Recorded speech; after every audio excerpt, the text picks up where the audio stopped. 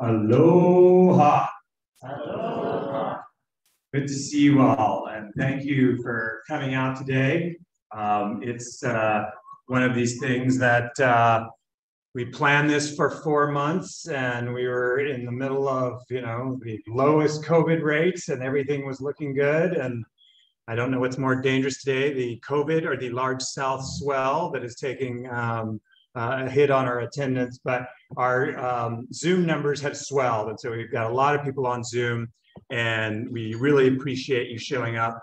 We always like to begin with this slide um, because we like to say um, cesspools uh, on or near the coast are like toilets on the beach. So this was a PSA we did and we just put some, cleaned up some old toilets, put them on the beach and had people come and sit down on them and explain what we were doing. They thought we were crazy, of course, um, but it makes for a good uh, PSA. And this is Waimanalo, where there are a lot of uh, cesspools. It's one of the priority areas. Um, but I want to thank you for coming today. Um, and we have a lot of people to, to thank. And I first want to thank our presenters. If you can see them on the back wall, we have uh, Eljen, Fuji Clean, Ridge to Reefs, um, and then we have Biomass Controls, Cambrian, and Cinderella. Um, two of these organizations we met, um, and you'll be hearing from each of them at the Gates Conference in Beijing two years ago.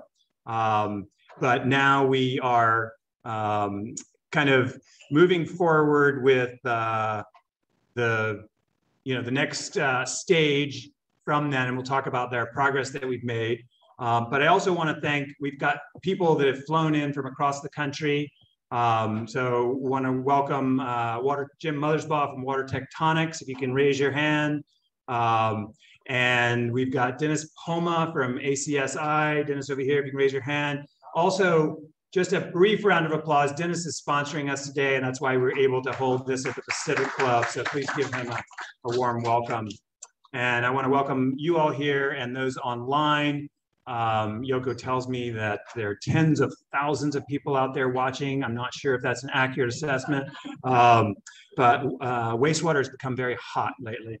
Um, and so along with our, uh, our presenters um, who will introduce themselves, I also want to thank um, our funders, uh, Amy at Ulupono, who will be coming a little bit later, um, and Eric from Castle Foundation. want to thank them um, for really uh, believing in our mission and what we do.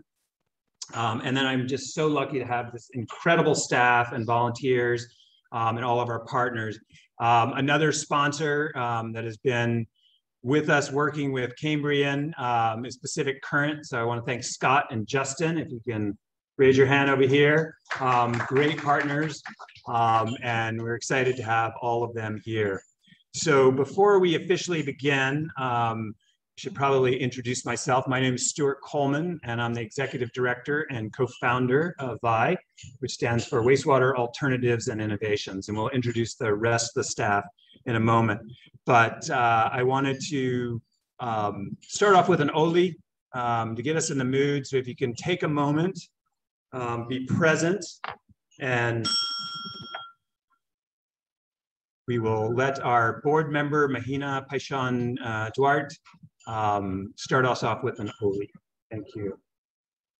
On the chair.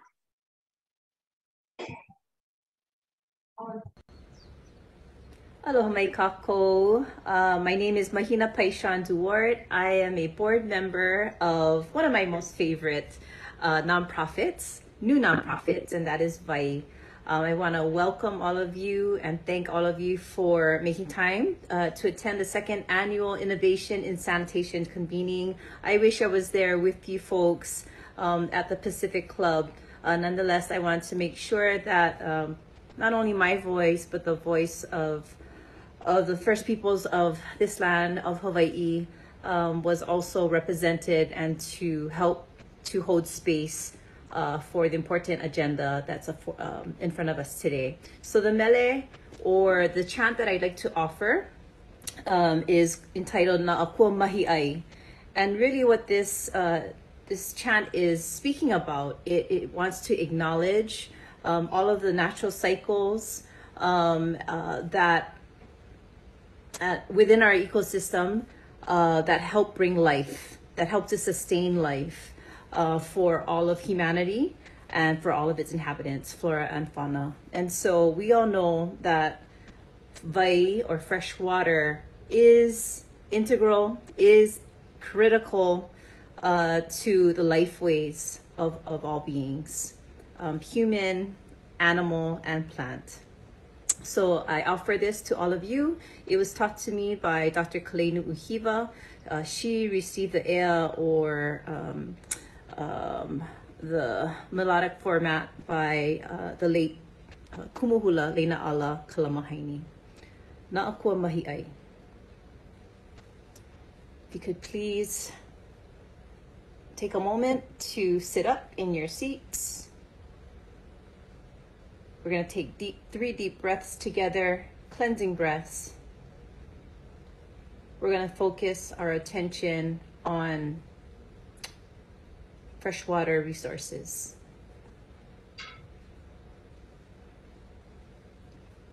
Ekahi. Elua.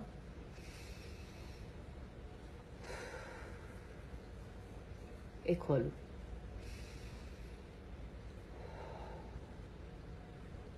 E kane no na kua mahi ai, ho ola i ka aina. A poho ka ai a ulu kupu kupu a ulu lau po o ole a o ka nui ia o ka ai. A we ka ne a melono. Mama uanoa. Aloha, aloha. Mahalo, Mahina, uh, for setting the stage and tone um, for our uh, convening today. Um, just a brief overview of the um, agenda so we know what's coming up. We're going to give you some updates and progress reports. Um, we have uh, brief technology presentations and each one will be followed by a Q&A and we really like people to jump in and get involved um, and ask questions so that we, you know, we want to know your concerns and your questions because it helps us. Um, then we'll have a coffee break. We'll finish up the tech presentations. We start with kind of the individual wastewater systems and then we go to the community scale ones. And then we're going to talk about some regulation reforms. This is super important because we have 90,000 cesspools that we need to convert. And so we need to streamline that process, um, working with uh, DOH and, and other partners. Then we're gonna have some poly, policy recommendations for the coming legislation, legislative session. Um, most of it will be at state level, some will be at the county levels. And then we will have um, breakout discussions, and that's super important. We really want your input today because everyone here is not only involved with this issue in some way or another, but is committed to helping Hawaii find solutions to one of its biggest problems. This is a three to four billion dollar problem for the state, but more importantly, it poses all kinds of health and um, and environmental issues.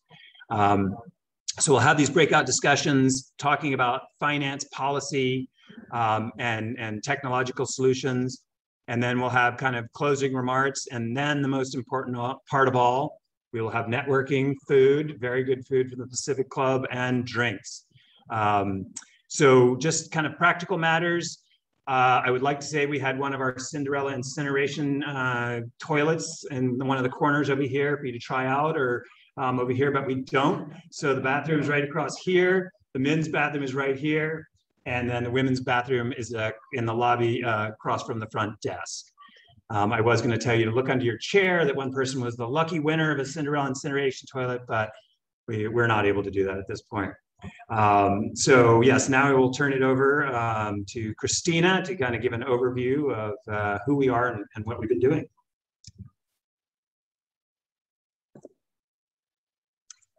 Thank you, Stuart. Uh, my name is Christina Comfort. I'm the program manager with WAI, and I'm just going to give a quick overview of our mission and what we do at WAI. Um, so first of all, our mission is to reduce sewage pollution and restore healthy watersheds by providing innovative, affordable, and eco-friendly solutions to waste and wastewater management. We're really committed to helping uh, fix the cesspool problem here in Hawaii, and really we want to help homeowners and communities manage this difficult process. Um, converting cesspools and failing septic systems is uh, really expensive and daunting. And we're working to help um, everyone find systems that are affordable, efficient, and better for the environment um, with the goal of clean water for Hawaii. And WAI has uh, five pillars with which we carry out this mission. Um, these are innovative technology, um, which you'll be hearing from many of our innovative tech partners here today at this convening um, financial resources, policy and advocacy to help streamline the process, um, outreach and education to educate communities and um, also bring awareness to uh, innovative solutions to um, agencies in the state as well. And finally, pilot projects where we can uh, demonstrate how some of these innovative technologies work in pilot locations across the state. Uh, this is our team. So we have a really great and diverse team uh, with WAI. And uh, you guys have already met Stuart, um, who opened this morning, or this afternoon, sorry. Um, and our managing director, John Enner, is here today. Say hi, John. And uh, he flew in from New York, so we're really excited to have him here in person with us. Um, as I said, I'm Christina, I'm the program manager. My background is in water quality and oceanography. Um, Yoko Schneider is our project coordinator um, and lead wastewater engineer. And then we have Raquel, uh, Raquel Gilliland, who's our operations coordinator, um, manages volunteers, social media outreach, and um, she'll be taking off for graduate school. So we're happy to welcome Jackie Orsa to our team um, as the new operations coordinator. So what is the cesspool problem in, in Hawaii? I think a lot of a lot of you guys um, in this meeting already know um, how much of a problem cesspools are for, for Hawaii and for our environment and public health here. Um, but just a quick review.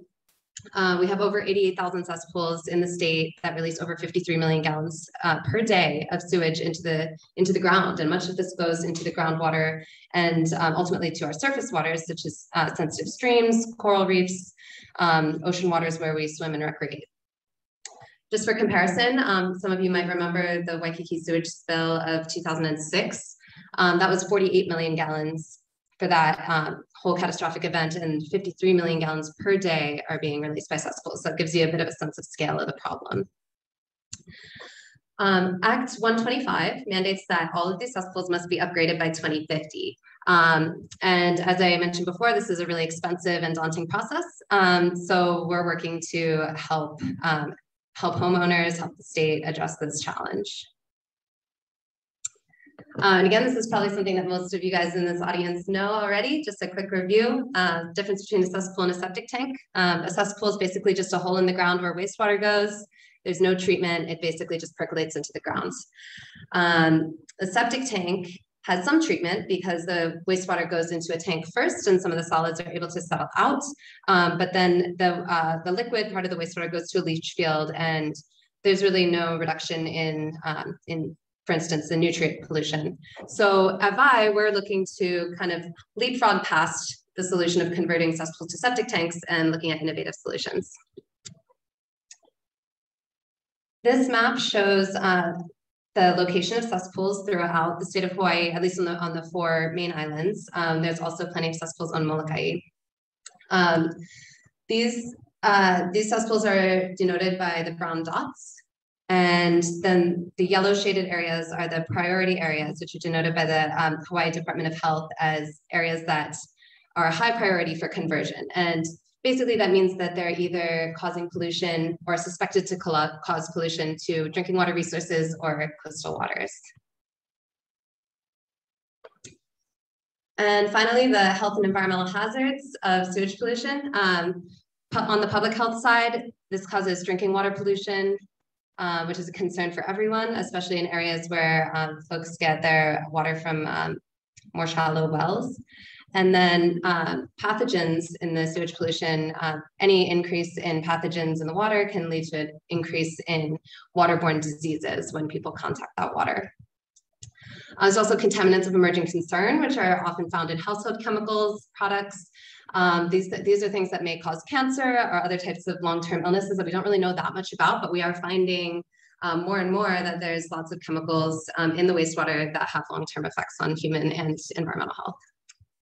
Um, and on the environmental side, one thing that we really think about a lot in Hawaii is our coral reefs. So the nutrients that um, come from sewage pollution can fuel invasive algal overgrowth, and that can kill our um, our corals that protect our shorelines and provide all the amazing biodiversity and um, fishing that people in Hawaii rely on. Um, and there's also links between sewage pollution with coral disease and reduced coral cover. So this is a really important problem on lots of levels, uh, human health, environmental health, um, preserving our reefs and the way of life in Hawaii. And uh, yeah, we're excited to share some of our updates and progress since the last convening. I'll hand it back to Stuart. Hello, Christina. Um, so since we were last, um, and some of you in this audience were here, um, last together, uh, as I mentioned, we had the first uh, Innovations in Sanitation convening two, about two years ago in October. Um, and that was at the Pacific Hotel, and that was sponsored by the Bill and Melinda Gates Foundation. Um, and we had uh, had a connection with them at the, we went to the Reinvented Toilet Expo um, in Beijing, which uh, I never ever thought I would be going and speaking at an event like that with that title. Um, but it was an amazing uh, event for me personally because I realized that we've been using the basic same sanitation system for you know over 120 years, and there is uh, you know uh, a lot of revolutionary thinking coming down the pike, and I think it's really exciting to see what's ahead um, and to find more innovative ways to do that. Um, and so we're still working with the Gates Foundation. They're excited because we've got um, two technologies that we, you know, uh, discovered there um, uh, three years ago, and so we're working to try to, you know, commercialize those. Um, and here are a couple of uh, successful pilot projects. The first one is with the Cinderella incineration toilet, and I got to pause for a second because when I first heard those two words, incineration toilet, I was like, those are two words that should never go together. Um, and my friend always likes to joke, you know, fire in the hole. Um, but it's, you know, now that I've gotten to know the technology and we've seen these pilot projects, the first was at HIMB, Hawaii Institute of Marine Biology um, in uh, Kaneohe Bay.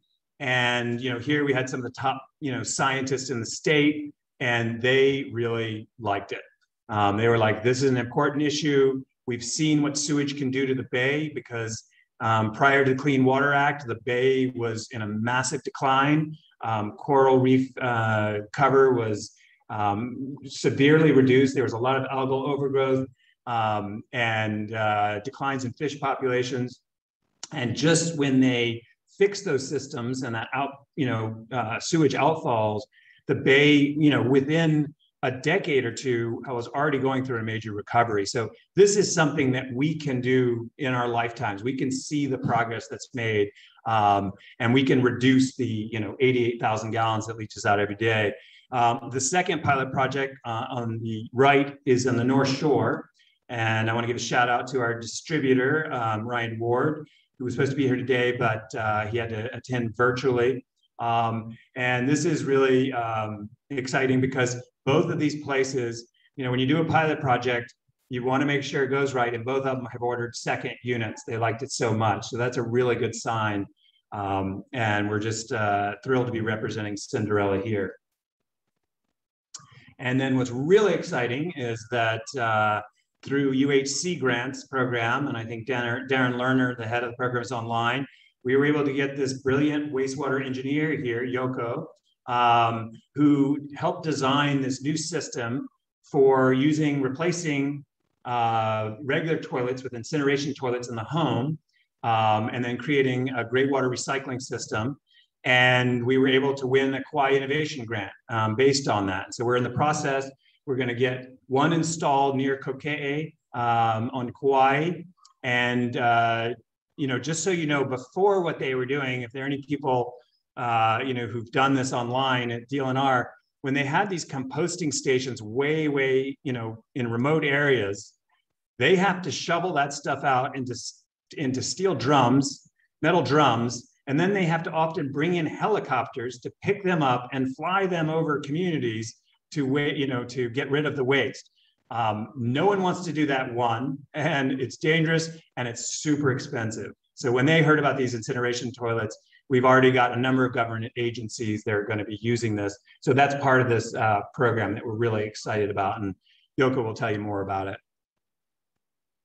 So we've also gotten, since that first convening, we've gotten a lot of uh, great recognition and set up a lot of collaborations. So just in the last um, year, we have uh, become, excuse me, let me go back one. Um, sorry, we, we started working um, with the Division of Aquatic Resources, and they have a goal um, working with the Castle Foundation and many other groups to manage and protect 30% of Hawaii's coastline by 2030. Currently, we're only managing 6%. Um, and you can imagine the amount of, um, you know, land-based source pollution that comes down, the sedimentation, the stormwater, and the, the runoff from these cesspools um, has a huge impact on our, uh, our bays and our nearshore waters and our groundwater. So we, with through Christina, who's got uh, you know a decade of water quality experiment uh, experience, working with uh, UH, and then also working with Surfrider Foundation and collaborating with other groups across the state. Um, we've got uh, just a lot of data that we need to start synthesizing and bringing together, building a network of these scientists and NGOs so that we can have consistent measurements across the state um, and parameters to, to measure that by. Um, and so we're working on their monitoring program and their protection and restoration um, with uh, DAR. So that's super exciting. Um, we've also been recognized um, locally here and then nationally and internationally and have set up collaborations. We're part of the um, DOH's cesspool conversion working group and a number of our members are online today. Um, we just had a meeting yesterday the, this group of people, was about 18 people, are tasked with trying to find solutions. How do we replace 88,000 cesspools in the next 30 years before the 2050 deadline? Um, and so we're doing recommendations on financing technology, outreach. Um, and so that's partly why you're here today. We want to hear your feedback. Um, and then we're also, we want a grant to work with um, Dig Deep that put together this decentralized wastewater innovations. The acronym is DWI, which is an unfortunate acronym for those of you who, you know, have uh, ever um, heard that term, driving while influenced. Um, and uh, but it's an amazing group of people. We have uh, we're only one of five groups nationally that were selected for this, uh, which was really special. And all of the groups deal with indigenous populations. So we have a, um, we're the group for Hawaii and the Pacific. There's an Alaska group. Um, there's a group re representing the Navajo Nation. There's a group representing the underserved communities in Alabama and the Black Belt, um, which many of you might have read about in New Yorker Magazine. And there have been a lot of publications just about, we have developing world conditions and the return of diseases that we eliminated decades and decades ago, hookworm, because there's open sewage outfalls. Um, so we're seeing a real kind of change in awareness, not only here in Hawaii, but across the country and around the world. And our last partner is Ocean Sewage Alliance. And we were one of the founding partners of this global network that's focused on ocean sewage pollution and doing education and outreach. And so I encourage you to look them up. They've got a really active social media and you can join newsletters um, a great organization. Um, so we just, as part of the DWI cohort, uh, Christina, Yoko, and I just went to Stony Brook University in Long Island, New York. And um, Long Island is famous for many things, um, including the Long Island accent. Um, I used, I grew up there as a kid during the summers, and so I would go clamming uh, in the bays there, and there was just the best fishing, the best clamming. Um, that has kind of collapsed because there, Long Island is the only place in the entire country that has more cesspools than Hawaii. Hawaii is still number one per capita for number of cesspools, uh, no koi, um, but uh, that's something we're working actively to reduce. Um, and so basically what it is, is the nitrogen and the nutrients from all this runoff um, is going into these bays and it's just wreaking havoc um, on the marine life there. And it's been traced and proven to be, you know, tied to cesspools um, and failing septic systems. There, they have. Uh, I just talked to Chris Clapp of the Nature Conservancy over there, and um, we met with him. We were back, and he said, you know, we are in the highest in the country for nitrogen levels in our drinking water. Um, and that is very dangerous. There have been studies that just came out, a Danish study um, that's linking rate, nitrogen in the water to um, some of the highest rates of colorectal cancer. Um, so this is a real health issue that we have to have to deal with. Um, and uh, you know, there's a this is an upcountry Maui that have been already seen um, elevated levels of nitrogen in the in the wells there in the monitoring. Um, so when I mentioned to them, I was like, you know, I'm going back to Hawaii and we're having this convening and I'm going to be talking to the media. Do you mind if I use Long Island as a cautionary tale? You know, thinking like, oh, they're not going to want that. Tourism board certainly isn't. Um, and they said, yeah, absolutely. Be sure to warn them. Start on this now. They waited 30 years until it got, you know, we had collapse in these industries that have been around for generations and generations. He's like, no, you have to start now. We want to work with you.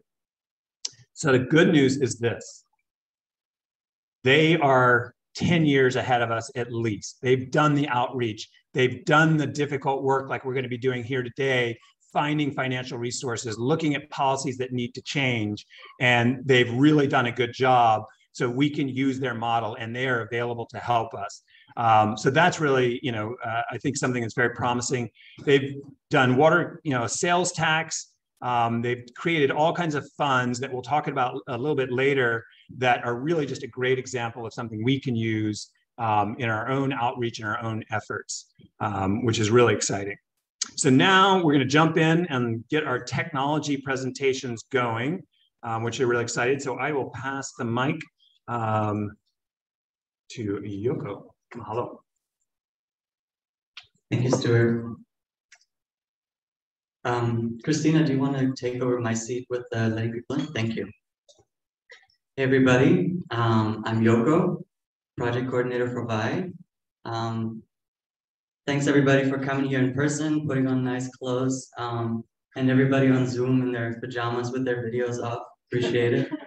Um, we're gonna get into the technology part now, really exciting. We have five technology presentations coming up, three before the coffee break, two after. The three before the break are about individual wastewater systems on the single family home scale, and the ones after are on the decentralized community size scale. Um, and each of these technology partners of ours are especially awesome because the left side here on the screen, each of them are donating at least one system to a lucky homeowner in need, and the ones on the right are going above and beyond applying for grants to offset the first pilot system in the ground in Hawaii. So without further ado, um, have to disappoint you. It's still going to be me presenting the first one because unfortunately Eljen could not make it out uh, from the mainland here. But I want to still say thank you to Jim King, the president of Eljen, and Scott Moore, the technical development lead, for putting together the slide deck. And to make it even easier for me, they have made a YouTube video for the first third of this presentation. So enjoy.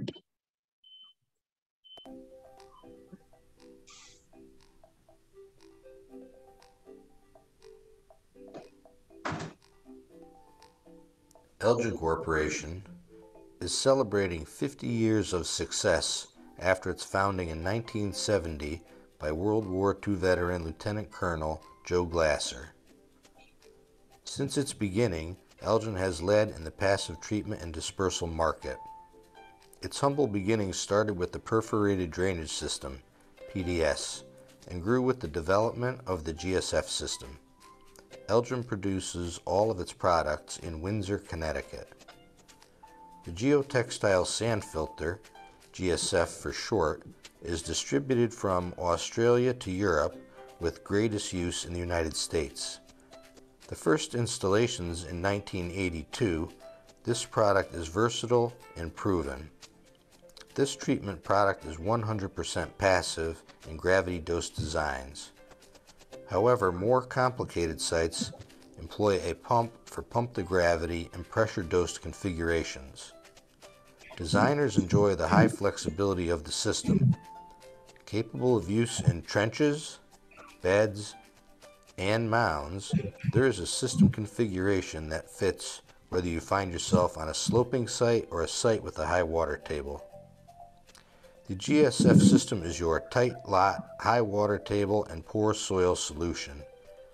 Due to the flexible design, tight lots become dream lots.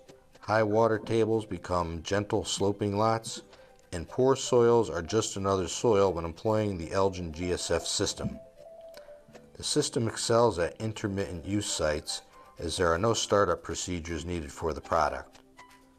The GSF module is comprised of cuspated core wrapped with a geotextile fabric. The module is designed in such a way to maximize the vertical surface area inside the product. The vertical surfaces inside the GSF module promote the growth and management of the biomat. As the system is dosed, whether through a toilet flush or the pump in the pump tank turning on, effluent flows down the distribution pipe into the GSF module. The effluent is then filtered through the GSF module before passing through to the surrounding sand. Each dose charges the module with effluent, raising the water inside. As the effluent passes through the geotextile fabric, the module backfills with air and a biomat forms on the fabric. The air promotes and facilitates the growth of aerobic bacteria, which eats away at the biomat. This management process helps promote the long life of the product. After the effluent enters the sand, it flows to the receiving soil in an unsaturated environment. That is to say, the sand pores above the receiving soil are not entirely filled with effluent, rather, they are filled with pockets of air. This process provides treatment and dispersal in the same footprint. The Eljen team takes training very seriously even though the GSF system's design and installation are quite simple, Eljen and its partners provide multiple avenues to become a trained designer, installer, or regulator. We have three methods that we commonly use to include classroom training, on-site training, and virtual training. The Eljen team is founded on training. Since their military service days, they have trained, taught training, and designed training to help others learn The team is led by Captain Jim King, Petty Officer First Class Eric Daniels, and Private First Class Scott Moore. Eljen's team is made of leaders, veterans who served, who now serve the on site industry's needs. They will bring a training experience to you and your team on all topics from basic design and installation, commercial system design, or more complicated subjects. All you have to do is contact us at 800 444 1359 or on our website at www.eljen.com slash training dash request.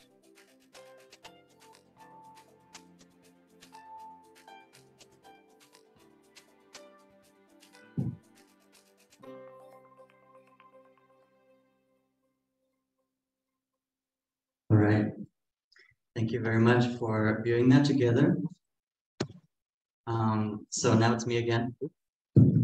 Um, to expand on what Scott just taught us about the Eljen geotextile sand filter, which is, like he said, a sort of advanced type of leach field used for the dispersal of wastewater while it also treats the wastewater. Um, the great things about the GSF are that no startup period is required, meaning as soon as it's in the ground, the bacteria form that are needed and uh, the treatment can begin. It's great for intermittent use, meaning that vacation rentals or summer camps are no challenge for the GSF And it's ideal since it's modular for hard to reach spots where otherwise larger containers couldn't get to them. The Eljen product family is comprised of not only um, National Sanitation Foundation Standard 40 certified products, which means that biological activity and solids are reduced to a certain level, but also NSF Standard 245, which reduces nitrogen as well. And so let me introduce how they do it, or further introduce it. Um, you can see here is the NSF 40 version, which is extra shallow in design. Um, the effluent goes through the module, like Scott explained, into the primary treatment zone. Um, the primary treatment zone has increased the surface area that's available and has open air channels for the bacteria to receive oxygen. And the secondary treatment layer, which is the interface between the module and the system sand, which we'll get into a little bit more later, supports nitrification um, and prevents the compaction of the system and clogging, which are two of the most common failure mechanisms of leach fields.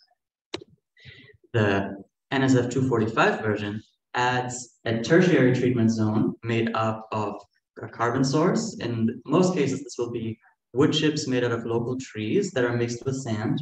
And this combination allows for the bacteria that is needed for denitrification, meaning turning the um, nitrogen in the liquid form to the nitrogen in the gas form, which is harmless and goes straight to the air, which is already mostly nitrogen. Um, so that is the tertiary level. Here, providing NSF 245. Here's another photo of what a typical Eljen installation can look like It can be a long trench, it can be a bed, it can be any, almost any shape you can imagine, as long as you can have a perforated pipe going over it. It uses Hawaii's standard treatment application rates, making the design very easy and uh, intuitive. And it can use gravity feed in, feed, needing no electricity at all, no pumps, or it can do pump to gravity, pressure distribution, whatever vertical obstacles have to be overcome, it's all possible. And like I said, trenches, beds, mounted systems, everything's possible. The benefits of this are that the passive treatment provides for far less required maintenance, far less breaking um, points that can fail, um, and overall very desirable. Um, it can maximize the internal surface area, meaning that small footprint is needed. It has the strength, essentially, of a package plant, which would come in in a container, but this is way smaller, more modular easy maintenance, like Scott said, it's it's all part of their instructions and um, can be used for multiple applications in terms of residential and commercial, can be used to retrofit existing systems or for new or for cesspool conversions. Other benefits are for sites that require pre-treatment because, for example, high-strength wastewater, this can work really well, can be used in high groundwater situations, where a shallow bedrock is in existence, which is something we'll get into in a minute, uh, poor soils because of the system sand that enables the possibility of uh, using this here, and soils that are rapidly permeable, too fast even, where the bacteria would otherwise not have a chance to treat. And uh, as promised here, the shallow bedrock, you can see the photo on the left, that is grass growing on basalt. There is no soil. It's um, in Kea'au on the Big Island. And we are lucky to work with a veteran, his name is Jarvis, who won our giveaway in 2020, our Veterans Day giveaway. Um, thank you also to Dennis for donating his engineering services to that. That's really awesome. And um, he is receiving a septic tank and a Eljen system. And the system is going to be for his five bedroom home, um, including two bedrooms where he's going to take care of his um, parents, which uh, is something we really want to support. You can see Kea'au is part of a priority area as defined by the Department of Health. 9,300 cesspools are the orange dots there, so it's quite dense. Um, and we hope that this is the first of very, very many Eljen systems installed in that area. And this is basalt rock, so you want to keep the system shallow, minimize um, expensive excavation, and the Eljen system is really ideal for that. This is the system that we're going to use. It's going to be trenches, just to give you an idea of what the bird's eye view of it would look like. And to get more into the system sand, the sand is a washed concrete sand and it's produced by multiple local quarries here. One even produces a recycled material out of concrete from demolished buildings. Um, this sand, as I said earlier, provides more soil structure. It um, elevates the level of filtration and it provides for nitrification and the decreases in compaction, soil clogging, and oxygen demand provide for a long lifespan. You see some pictures of the systems going in the ground. Here's a picture of the Eljen family. Um, most of them, if not all of them, veterans and um, really great people to work with. And uh, they have made the commitment that when approximately 500 systems of the Eljen um, variety are installed in Hawaii, they will produce an assembly plant here locally, producing jobs um, and reducing shipping rates by a lot. And the units that are produced here in Hawaii, that will be produced in Hawaii, will also be used in Australia. This is a company, uh, an example for us bringing somebody into Hawaii that is already well established in the rest of the world, hundreds of thousands of systems in the ground. So they are um, nothing new, but new to Hawaii. Thank you all very much. And we will move over to the Q&A section. So I think the way we'll do it is on Zoom, please put your questions in the chat and I'll hand this mic over to Christina so she can read it out if there are any. No, she can. Okay, so um, I will uh, wait um, and see if in person anybody has a question for me and I can uh, pass the mic.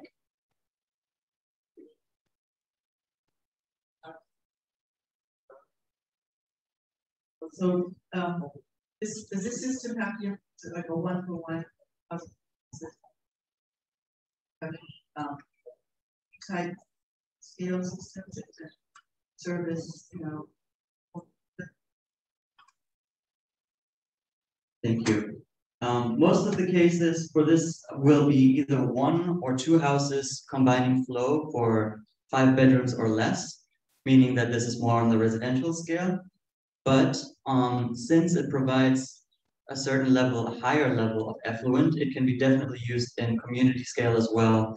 Um, it will depend on um, cost factors, whether that is uh, feasible or not, but it's certainly both possible. But I will make the prognosis that 95% at least will be on um, individual household level. Thank you. I heard you correctly, this is cited assessment, uh, septic tank. Oh, so septic. Yeah, thanks for clarifying. Oh yeah, of course. The first question too? Um, let's just go from here because we gotta. Okay, yeah, thank you. Um, so the question was whether a septic tank is still needed with the Eljen system, and yes, that is correct. A septic tank is used to via gravity settle out the heavier particles and toilet paper and all that, so that only the liquids move on to the Eljen system, and the septic tank will have to be pumped um, just as much as a regular septic tank would every approximately every five years. Um, yeah, great question. And is there a question in the Zoom chat? Yeah. Um, question from the Zoom chat. Um, would an anaerobic tank be able to be used or would an advanced treatment tank still be needed to meet NSF 40 slash NSF 245? Thank you. Um, no, anaerobic, com completely run-of-the-mill septic tank uh, will suffice. So it is um, it is certified for NSF 40 and NSF 245 in combination with the standard septic tank of a thousand or a little bit larger than that gallons. And you, know, what are the benefits, real quick, of NSF 40 and NSF 5? Yeah, NSF 40 again is um, the removal of most biological activity and uh, solids. And then NSF 245 also decreases nitrogen. And we'll do last question to Wes. Make sure to keep the mic close to your mouth. Here's, what's the estimate cost for your five bedroom See, this is me, the engineer asking cost questions. He knows he's not allowed to do that. Um, it is going to be a little bit more than a chambered leach field. Um, for this five bedroom system in uh, on the Big Island, the cost will be a little bit higher than average because of the excavation in the basalt rock that will be required.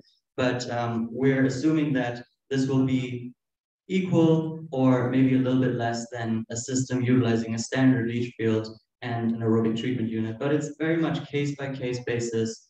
Um, and uh, yeah, we'll talk more about the financial um, feasibilities later in the financial section. So thank you all very much. And I will pass it over to Dennis Homa and Richard Chiodini. If you could please make your way to the stage.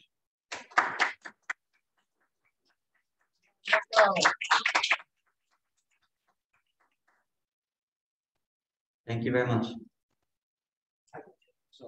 Yeah.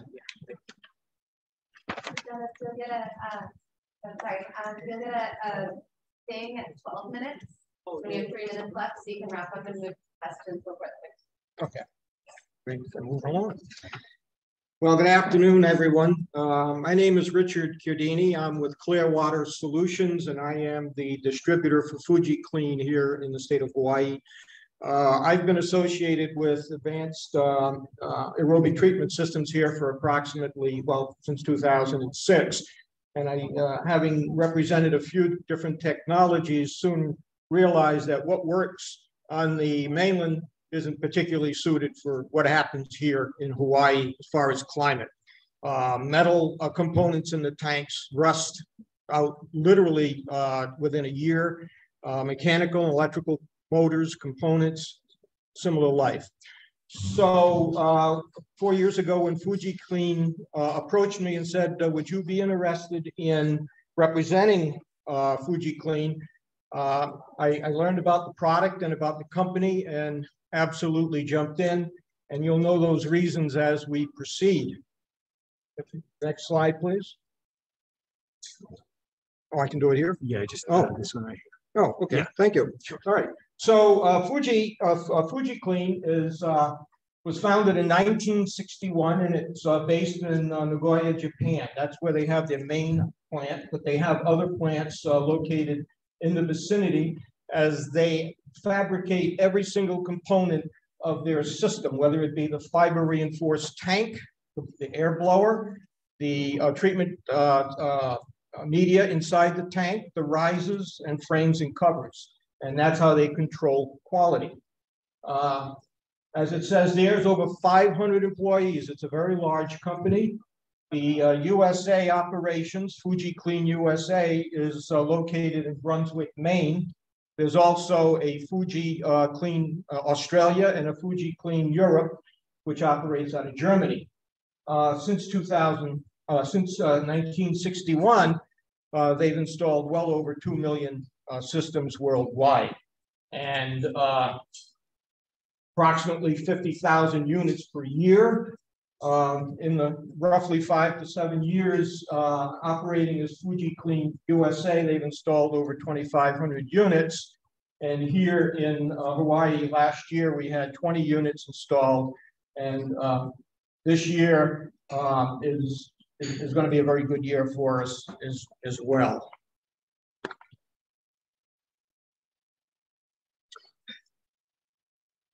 In uh, May of 2021, uh, Fuji Clean was uh, featured in Newsweek International. This is an excellent article because the president uh, actually explains uh, the, the challenges they've had uh, operating in a COVID uh, environment, as well as trying to fend off cheap imitations from Taiwan and, and China. Um, the uh, Global Niche Top 100 is an award uh, offered uh, by the uh, Japanese uh, Ministry of, uh, of Technology, and they moved or, or voted Fuji in that top slot in 2020. The waste equipment technology award was was offered to Fuji in 2003 based on their uh, performance and innovation. Um, the little green box on, on the left is, is really interesting, and it, it had to touch on what, what Stuart was saying. Suffolk County, in New York, uh, have installed hundreds of aerobic systems, many of them um, Fuji Clean. And they were able to come up with a program of funding uh, to upgrade those with no out-of-pocket expense. That would be a fascinating thing to find out how they did that and maybe have application here. So here we are, um, Clearwater Solutions. I'm based out of uh, Kailua Kona on the Big Island. My associate Dennis uh, is here in Oahu, and between the two of us, we market, we sell, we provide technical information. Um, we uh, actually uh, train, and that's a requirement of Fuji Clean. We have to train and certify installers and uh, service technicians. So we do have a team of trained service technicians and installers that help us throughout various islands.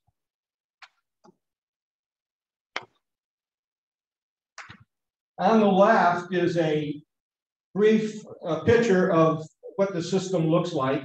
As I noted earlier, every component of that tank is man manufactured by FujiClean, and it is it arrives at the site totally installed. There is nothing the installer has to do to the inside of that tank to get it operational. Every component, everything in there is uh, is, is already uh, installed. There are uh, no metal parts. There are uh, no moving parts. There are air pumps, and we have an external blower that provides air to it. It's a linear blower. It is extremely uh, cost effective to, to operate. And some of those advantages that we've indicated uh, before, they have a huge install base. So they, they really know what they're doing at Fuji Clean. Um, a septic tank is not necessary uh, that to precede the Fuji uh, Clean. Um, no moving parts, we mentioned. It has built-in equalization. Um, it does meet NSF 40 and NS uh, 245 standards, the two, three, four, and five bedroom systems.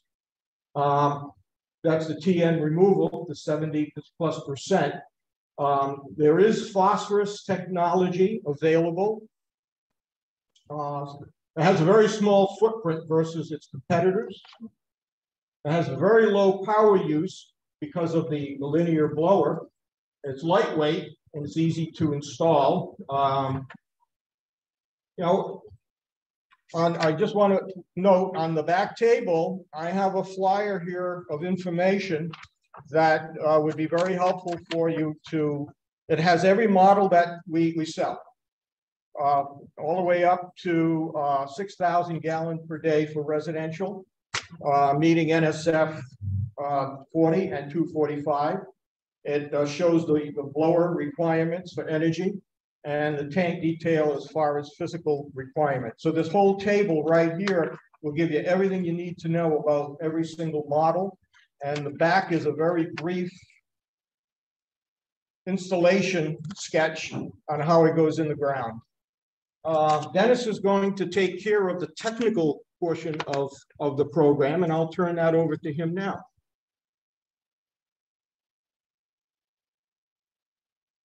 Are we switching out mics?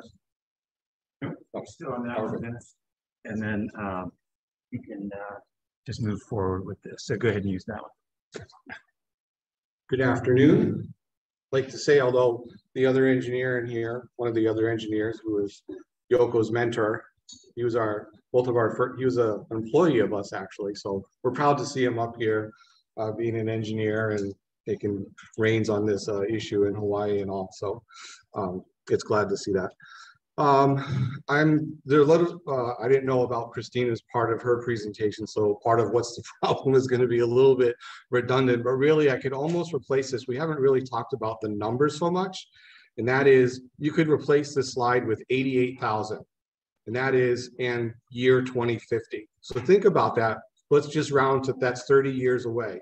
I can tell you because I do I average probably right now close to 75 systems a year, design and installation of septic and aerobic systems. And one out of every four properties that I encounter easily are non-registered. So I, I, probably even have two this week alone. Actually, I had one property with three unregistered cesspools on one property. So take that 88,000, it's really probably more like 100,000, 120,000 probably. So you divide 30 years over a hundred thousand, that's three thousand systems a year. Wes, how many systems you do? Like about a hundred a year, right, or so? I do 75, 100 a year. All the engineers combined, and if you look at the numbers in the state, they're only averaging less than two hundred a year. We've got a long way to go to get there, meaning we don't have enough engineers, we don't have enough installers. Almost all the installers we deal with, they're all actually close to age 70 and ready to retire, and they're all the good installers. So we're we're losing out on, you know, the the infrastructure to be able to put these systems in. Um, so really, you know, as, as Christina talked about the proximity, actually how I got into this business was probably about eight years ago was because I had a number of clients that had to put in systems and they were right on the ocean or they were th- within 50 feet of a surface water. If you look at the state guide, it says you're supposed to do an aerobic system or something that reduces the nitrogen. Well, septic doesn't reduce nitrogen. And I couldn't find a good aerobic system at the time. They just really weren't available. Um, Industrial Wastewater Technologies does have their CBT system and was familiar with it and used it. Um, but I was looking for my own, a different technology. So I got associated with a technology, not Fuji Clean, that's now defunct, um, no longer associated with it. And when that happened a few years ago, that's how I met Richard and was really, you know, was excited to jump into uh, taking over the dealership. Jensen used to have it here on Oahu. So I jumped at the opportunity to be able to provide a great product. And it really has turned into a great product and a reliable product for uh, homeowners and such. So Fuji Clean, we are in different than Eljen, which is passive. We're an active system. So we're not relying on the ground or the soil to do the treatment or our passive system uh, within the ground like Eljen to do the treatment. We are active. So we do have electricity needs. We have a blower. We need to uh, create within the tank and tank system the aerobic digestion process. Um, so you know, actually, I think one of the earlier questions was about like community based. If you look at Fuji Clean in Japan, it's really interesting um, type of system. They use the Fuji Clean, but they don't use leach fields or seepage pits. They actually discharge to pipes that go direct to the surface water. So the neighborhoods ha all have their own ATUs. So they don't have a commercial system. They clean the water and then that clean water gets discharged under like an NPDES system um, permit system and it goes direct out to a stream or a river or to a lake or something or ocean. And so that's an interesting model that, you know, I don't know if the state would ever consider something like that here, um, but that's why, and that's that's a big part of their business. So they don't rely, they're not relying on secondary treatment in soil or leach fields or anything. It goes direct to groundwater. That's how good the quality of the water coming out of the systems are. Um, so when you have those dense neighborhoods like that, that could be, you know, a potential uh, solution in the future. Um, the active systems in this case uh, apply very well to very small lots. Like we deal with some of these coastal lots or um, properties where there's no room to put a leach field. So you're stuck reusing the cesspool. And so putting this type of system in front of a cesspool that treats it, gets it to the quality, you can directly discharge it to groundwater with some UV disinfection as well. Um, so um, so the problem is the proximity to the water, the density, the um, uh, well, proximity to coastal water, proximity to groundwater, et cetera, all the things that we saw earlier. Um, really kind of the point of this slide is, again, Christina had some very similar um, graphics of how the water and the contamination and pollutants get to the groundwater. But really, the, the, just to point out that septic relies on the ground to do the treatment. In an aerobic system, it's active, it's done inside the tank. We're not actually relying on the ground to provide any treatment. It does get tertiary treatment before it will reach the groundwater, so it will clean up even further um, before that. Um, and we also just are, we have two series of tanks. One is what we call our C CE series. That's the NSF 40, and that's your basic aerobic system. It does have good nitrogen removal, but it doesn't meet the standard for NSF 245, which is the uh, standard for nitrogen removal. Three minutes, that's what the bell was for earlier. Okay, I better hurry up. um, but so we're not relying on the ground and or, or and we have very poor soils or we have no soils in some cases so that's where an active treatment system can really be of value to um, to the owners and such so what is the solution to the problem I probably just should have put the Fuji Clean logo, but that wouldn't be fair to everybody else then, right? So, I mean, aerobic itself, right?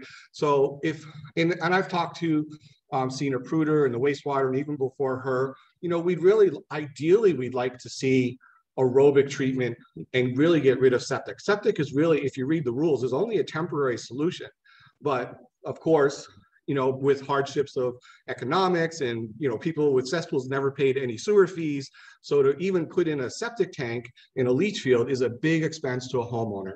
And yes, it's a little bit more to do aerobic, but we're cleaning the water much, much better than we can with a septic in the ground, which is unreliable. The leach fields only last for so long.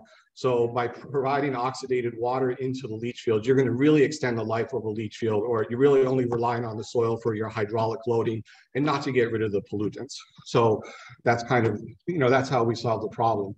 Um, number two, replace cesspools with aerobic treatment units. Um, you know, the, in VI obviously is working on the initiatives for uh, the proximity to shoreline and all the priority cases and the priority zones and everything. Um, so you know, how can we tell we're making a difference? And that will be in time through future studies and all. Uh, a quick view of uh, Richard went over a little bit is we're generally a contact filtration system. It comes into a sedimentation chamber. We don't need a preloader in front of it. It's actually designed, the first chamber is your preloader and then it goes in, overflows into your uh, anaerobic chamber, which then overflows into your aerobic chamber where you get your aerobic digestion. And then it recycles. It actually recirculates, so it's circuitous all the way back to the beginning. And that's really how you get your nitrogen reduction. You get the, so you're going from a nitrification stage back to a denitrification stage where your nitrogen is off-gassed um, through that anaerobic um, suboxic environment. Um, there's no submersible pumps or agitators. It's all done through air and airlift pumps. Um, so that's great, uh, great feature with it as well. Uh, and this is just kind of an overview of the aerobic digestion process where it starts with ammonification, nitrification, and denitrification. I'm not going to go through the chemistry or anything. Really, the highlight here is we do all the heavy lifting um, before the soil so that your leach field will um, be um, effective for years to come.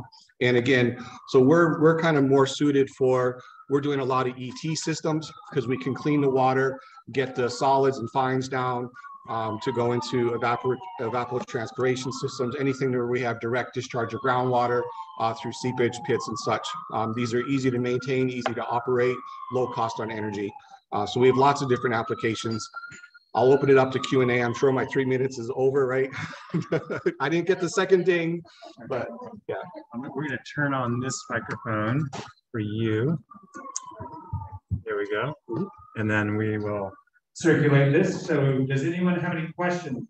And I have a quick question. How many people in this room have a cesspool or know someone with a cesspool who has a cesspool? Um, yes, almost all of us do because there's so many and they're so spread out throughout Hawaii. So you can know how much per pervasive problems. You mentioned that they're a little more expensive. Can you share order of magnitude, how much more expensive? And for those customers that are buying, are they consciously buying because they know it leapfrogs? Are they doing it because they're environmentally conscious? Or are they just not cost conscious, not cost sensitive? Yeah, and, and, I mean, I can speak just in the past couple years, uh, you know, the cost of just installing septic systems, which, you know, average probably on the big island, they probably average like 12 to 15,000 or a little bit cheaper over there for some reason. On Oahu, they were averaging maybe 18 to 20,000. But in the past two years, we're seeing averages of 25 to 28 just for septic systems, septic with chambers and leach field basic. But it, a lot of it comes down to you're digging through rock, you're on a really small property. So you have all these plus plus factors. The incremental difference to go to aerobic is one going to depend on how large or how many bedrooms you have. So our smallest system can be landed in cost for about $9,000. So uh, typical septic of that size is about 3,000. So you've got, you know, say $7,000 difference. On the larger system, you might get up to 12 or maybe 15,000 on the larger systems incrementally your construction cost is almost exactly the same. You have a little bit of electric. I mean, it's really like all we have is a simple little 15 amp to run the blower. So I mean, it's either put it in an existing circuit or add a sub panel. So the electric's really easy to install as well. Yeah. Hey Dennis, we have a question from Zoom. Hmm? What is the typical leach field lifespan if a Fuji Clean tank is used? Yeah, well, I mean, first it's going to be be dependent on where you are on Oahu, right? So in some cases we don't have a real good depth of soil, or you're in rock and right into a preferential, you know, pathway to groundwater. Um, and, you know, if it's like somewhere on the Big Island, it's almost indefinite because it goes right into the rock and the groundwater. Um, so you don't any the underlying soil, three feet of suitable soil will last you probably 50 years or more. I mean, you still have a small biomat, you still got some diff, uh um, uh, reaction occurring because it's no, we're not at zero pollutants, right? We're you know we're at below 10. Um, so you know it's never been studied, so there's not an exact number. Typical leach fields, you know, on the U.S. you look at studies are like 20 years, and then uh, depending on your soil quality, could be seven years. Yeah. And just going back to your question or just question earlier, um, part of this is some homeowners, if you're near the coast in a very, you know, area with shallow groundwater, um, you have to do something like this at ATU because you can't um, do have nitrogen levels and be that close to groundwater. So a lot of them are mandated.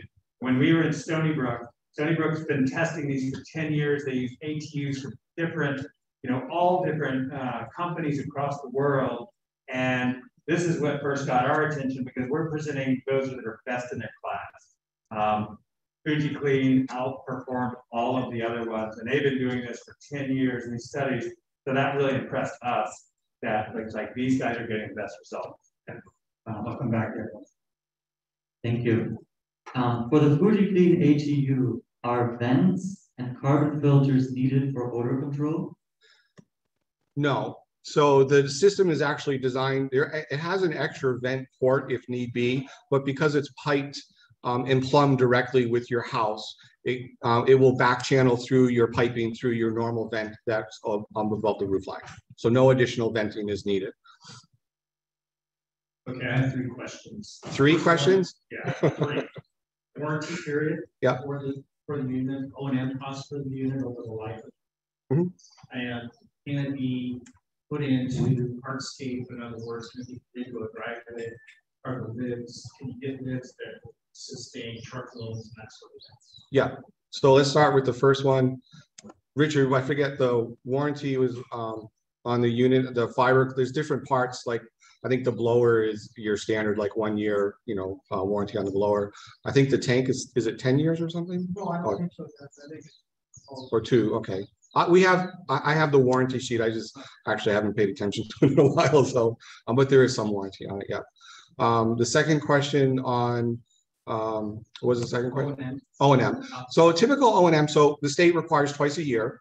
Um, most of our service providers on each of the islands charge somewhere around $125 to maybe $150 an hour.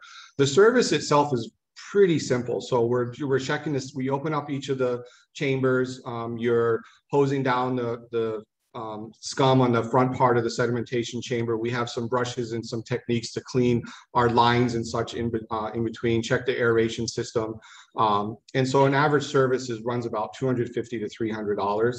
Um, so most, so you're, you're seeing cost, annual costs in the six to $700 per year to maintain, which is pretty good for, you know, aerobic system twice a year. Uh, we're also, you know, we'd like to have at least quarterly. I mean, ideally, you know, six months is a long time, especially, you know, we're finding um, electricity goes out and they don't restart the air the aerator and then it goes septic on you the sludge builds up and you know and such like that so it does need eyes on it unfortunately and it's it's a growing issue here in hawaii aerobic systems are I mean, Cena's thrown out numbers like 90% failure. I don't believe that number quite, but it is, but it is exorbitantly high, unfortunately.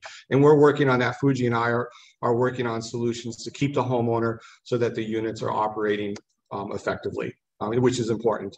Um, oops, I must have hit something there. Um, and then, yes, we do have H20 applications. Uh, we had a standard one, which was a pretty thick slab and some heavy rebar. Um, but uh, we actually have that being revised right now. So we're just go your stand, it'll be your standard six inch um, slab with like number four, number five rebar on center, you know, crisscross patterns. So we do have options for that. And we're doing, actually, I'm doing two of those this week. We've got three of our CEN systems being installed this week alone right now, one on the Big Island and two here. If anybody wants to come take a look at one, we can bring you there. Yeah, well, uh, just a quick question. From uh oh, I got the bell again. uh, quick question: uh, Would this be possible in a no pass zone? Oh yes. Yeah. So well, yeah. So I do a lot within the no pass zone, and those are your ET systems. And so it- we, um, it cleans it. We have to put a pump um, vault after it because you have to get it pressurized into your subsurface irrigation. Um, but other than that, it's pretty straightforward. We've got plenty of those installed as well. All right, let's give it a round of applause if we could. Um, we Appreciate it. Thank you. Thanks again for sponsoring us here today.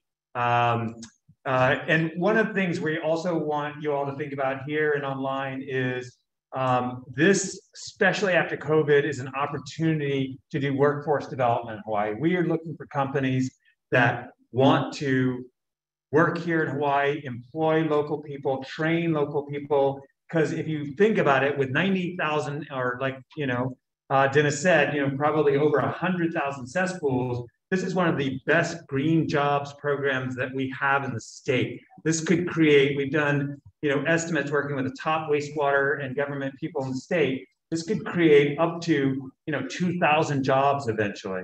And these jobs pay well and they're long-term. They're not dependent on tourism. So all of these, I just want you to be thinking about that, you know, that how can we develop and train people here in Hawaii to get more people who are not dependent on the kind of roller coaster ride of tourism and that are also doing jobs that help the economy. So now it's my pleasure to be uh, introduce you to Paul Sturm from Ridge to Reef, who's flown all the way from Maryland here and um, has done work, a lot of work in Hawaii. So let's give a round of applause for Paul.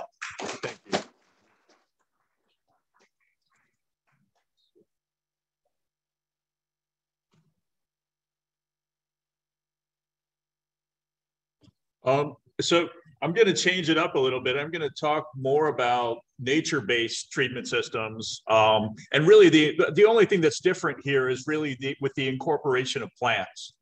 Um, and so as a biologist and ecologist, um, working around the world on food security and water security issues, um, almost everywhere I've looked on islands in particular, you have a tremendous amount of failing uh, septic system, waste wastewater systems in general.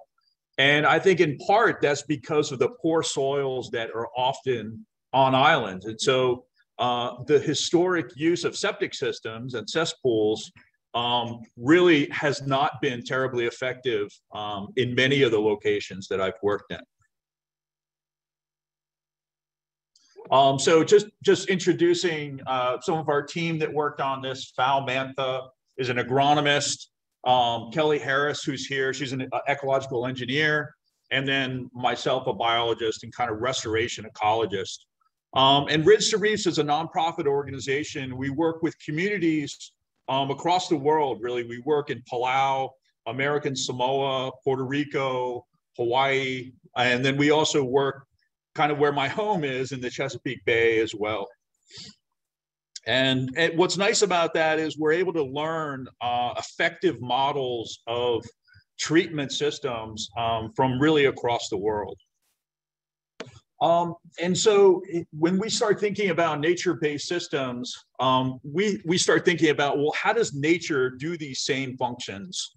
Um, and, and so we start thinking about bacterial denitrification, and so we start thinking about we need to mimic the natural habitat of denitrifying bacteria, and as well as the flow conditions that allow those bacteria to treat uh, nitrate, um, as well as convert uh, ammonia into, into nitrate for additional treatment.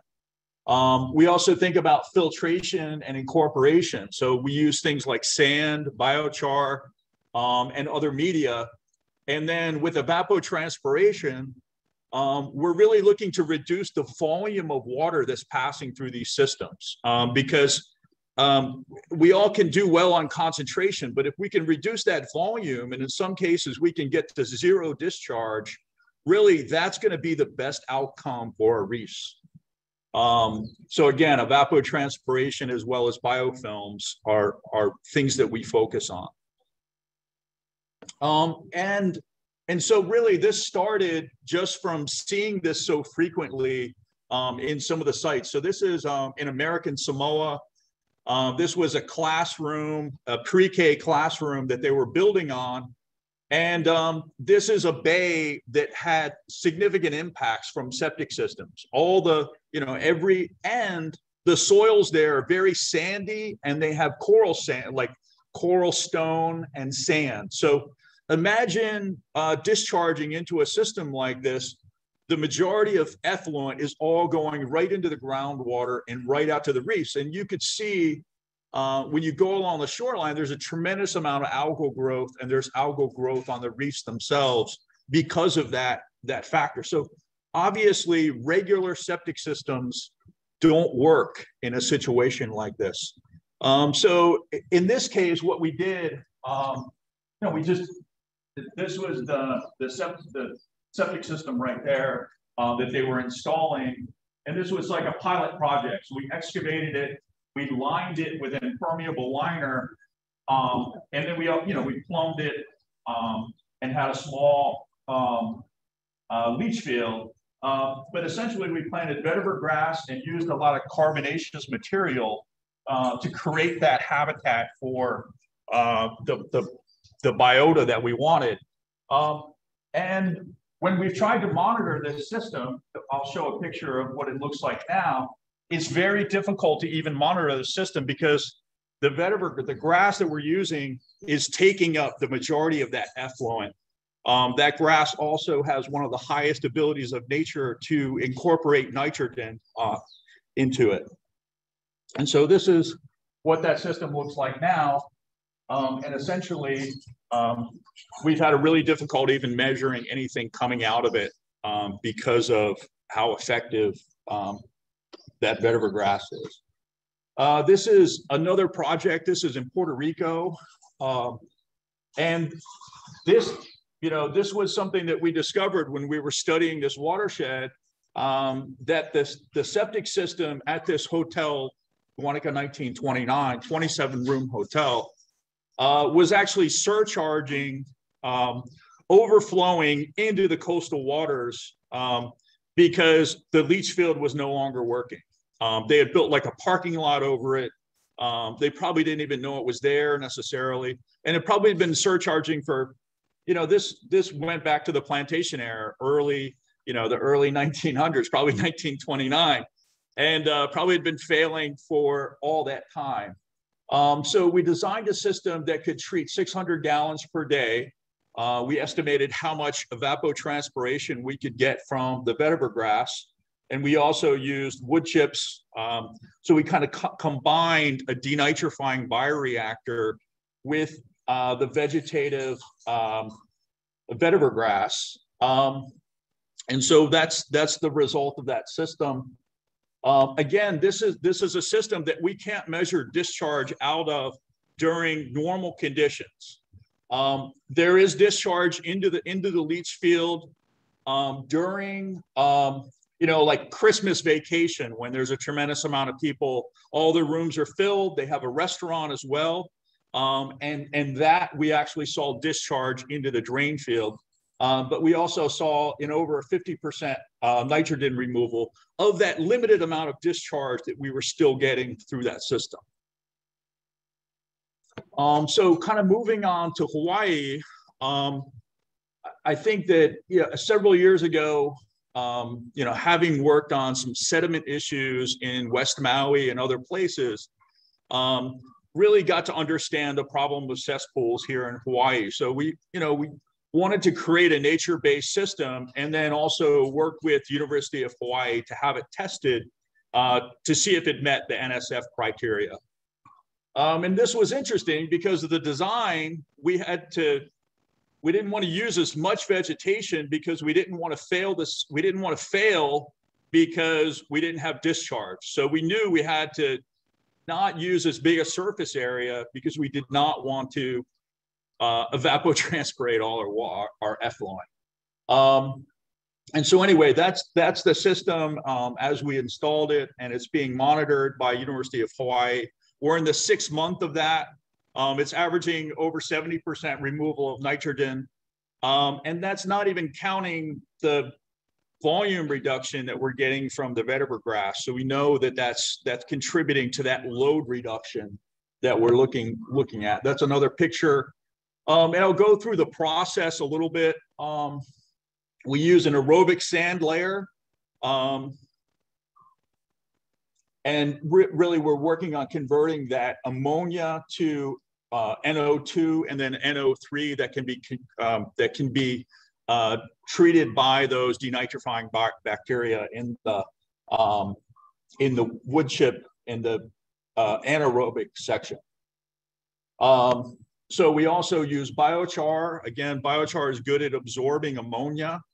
Um, and we also use an have an anaerobic wood chip layer. And part of the idea here is that we're trying to use things from the waste stream. So we're using anaerobic or we're using uh, wood chips um, that are from invasive species um, that are prolific across Hawaii. So the idea is, hey, let's get rid of invasive species and use those as our carbonaceous source, as well as biochar that's created from local materials as well. And then we're working on a project that we would uh, use, we would uh, take used glass and create aerobic sand for the aerobic layer um, because we we're really focused on minimizing the the uh, the car the climate the, the footprint uh, the carbon the carbon footprint um, of these types of projects. Um, in addition, we've done some calculations in terms of how much carbon sequestration uh, we can get from these type of systems. So there's a certain amount of carbon sequestration offset that happens. Um, each vetiver plant is able to, to, to significantly um, you know, pull carbon out of the atmosphere. And just kind of going through um, the process, you have filtration and absorption, and then the denitrification just puts off um, N2 gas, which is 80% of the atmosphere anyway.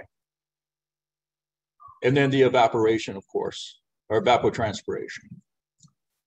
And so one of the reasons um, we used vetiver grass is this, the, the bottom part of that graph is zero to 360 days. And vetiver grass continues to put on weight and biomass, both subsurface and above surface uh, on an annual basis. It has no annual cessation period like almost any other type of grass is going to grow, then it's going to die back a little bit, then it might grow again. But vetiver grass continues to put on biomass both um, above surface and below surface. Um, uh, Kelly also did some calculations um, looking at how much evapotranspiration we can expect to get. Um, and this is from a, a, you know, an existing study that showed um, and looked at plant height versus the amount of evapotranspiration that you get with vetiver grass.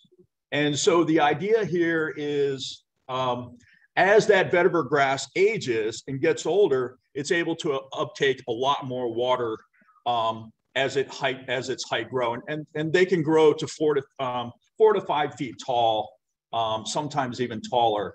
Um, and so the idea is that the uh, vegetation factor or the evapotranspiration factor is around 2.5. Like, let's say one might be for a normal uh, grass.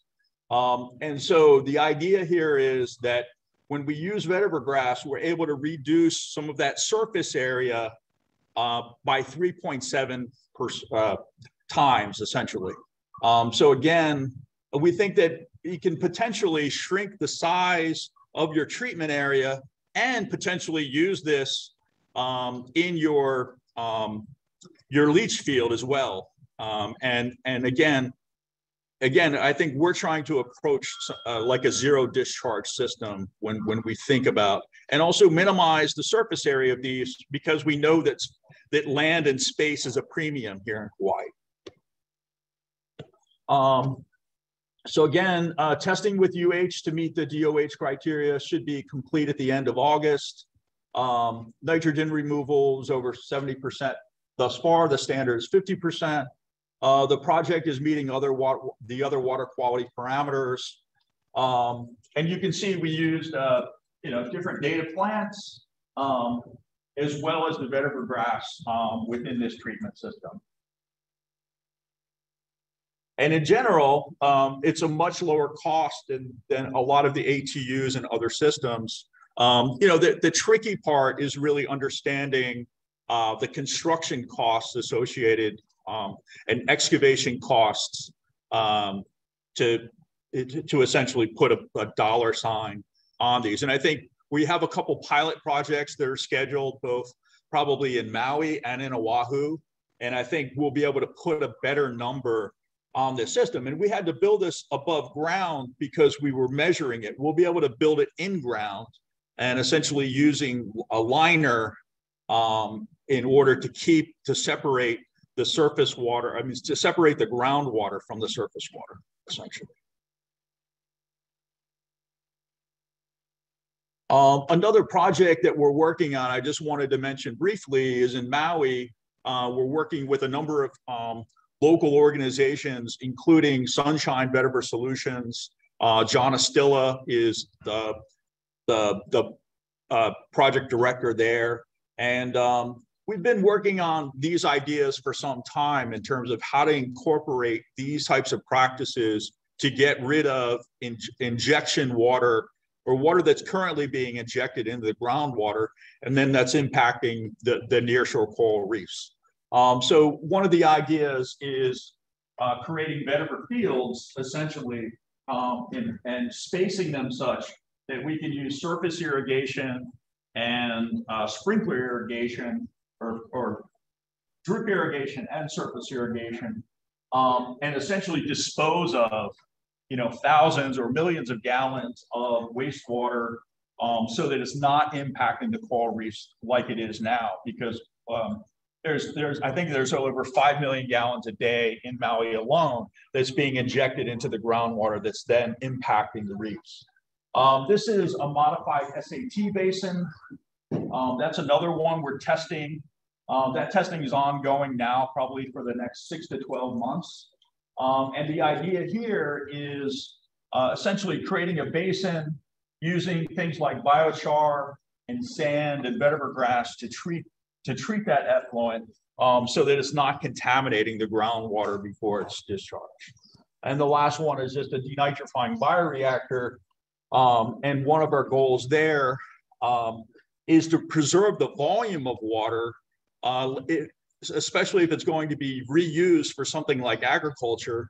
Um, and, and, and so anyway, that's, that's the third sort of case that we're um, testing. Um, and these are just some relevant literature where uh, the removal of pharmaceutical re residues by wood chip uh, bioreactors, the reduction of nitrogen loads, uh, bacteria and virus removal and denitrifying bioreactors, and these types of practices. So all, all this stuff is well documented. Um, and you know, 1 billion people worldwide do not have access to clean drinking water and 2 billion do not have access to proper sanitation. Um, so I think part of our idea is how do we um, have it so we can use things from the waste stream to treat this waste source uh, so that we can have better, better outcomes for coastal water quality and uh, groundwater quality as well. So yeah, there's just questions. Right, I'm gonna turn on this microphone for you. And then uh, we have some questions. Yes, in the back. Yeah. Excellent presentation. Uh, just a question, are you your collection of data for, are you also for ammonia along with your nitrates and impact of heavy metals? Um, how is that being, that data being collected? Yeah, yes, the, the removal rates for, um, we, I don't know that we're looking at heavy metals necessarily, um, but we are looking at uh, nitrate, ammonia, a full suite of um, water quality parameters that meet both the NSF 240 and the NSF or the NSF 245 and the NSF 40. Yeah. And uh, just a little uh, background, when we were looking at Stony Brook again, because this is the example, they're 10 years ahead of us. Um, FujiClean was best in its class for ATUs, but they developed something called an NRB, nitrogen reducing bioreactor, because they have such a problem with nitrogen there. And this model is kind of based on that. And that's, uh, you know, another one of the holy grails. Can you do something that doesn't require electricity? Um, and there only, you know, we like to say there's no one silver bullet for this issue. We have many arrows in our quiver because there are going to be some areas where this might work, but you need more land space, more area. And if you have a tight space, you know, an AT unit, is going to probably work better. So we need everything we get. Um, but you had a question online. Thank you. From Zoom, how often do the wood chips need to be replaced? And how would you go about doing that if it's located on the bottom of the system? It's the first two questions. Sure. No, that that's a great question. So the the half life of wood chips is uh, 30 years approximately, and I think that sometimes. Yeah. So the the half life of wood chips is approximately 30 years, and I think there's there's probably some discrepancy whether if you're using a pine or a hardwood, a softwood or a hardwood. Um, but again, the half life being 30 years, and you still, even after 30 years, you would still have plenty of carbonaceous material for those denitrifying bacteria to live on in order to continue to perform that function. Um, so, so I, I mean, I, I mean, we would put it at at least 30 years, and I think that but there's denitrifying bioreactors in the Northeast that you know are continuing to operate. Um, and um, so anyway, and, and, some of the tropical hardwoods here, including some of the invasives, are super hardwood. So we would expect them to even last longer. Thank you. And then um, what is the typical footprint requirement for uh, an amount of wastewater? Yeah, so the the the project that we built um, at the Honolulu, the East Honolulu wastewater treatment plant to, to have tested. Um, that's approximately six by 14 um, by about three and a half feet tall. Um, so, so the idea, and that's for a three bedroom home. So you can kind of scale it from there in terms of like a four bedroom or a five bed bedroom or a two bedroom. So. All right, we have time for one more question. Right. Uh, I have a question for you all. Uh, they might, uh, they're in town, uh, like I said, from the East Coast, and they're going out to this pilot project, East, um, the East Honolulu Wastewater Treatment Plant, which has the benefit of uh, having the best site near a beach. Um, it's gorgeous. If anybody wants to um, check that out, uh, let Paul or Kelly know, um, and they can take you out to see it because again, if we can do this, if we can find a way to do a passive nitrogen reducing bioreactor that works, that's going to be substantially cheaper, this is going to be something that would really be kind of a, a game changer in Hawaii. So let's give uh, Paul a big round of applause. And uh, moving into the decentralized area of more community scale solutions. So let's have a big round of applause for Bill Muziak, who's here from Boston. Thank you. Thanks, Stuart. Yep, we uh, took us a year and a half to finally meet uh, in person. So very happy to be here. Took me 50 years to make it to Hawaii. Um, so Lewis took me shopping because the stuff I brought to wear was not uh, up to speed for uh, Aloha wear. So thank you, Lewis. I appreciate that. Um, and I will wear this on my calls with you guys every week or the other one. I bought two of them. So um, so I'm going to be pretty brief today because I'll, I'll open it up for questions. Um, we're happy to be here and Cambrian is a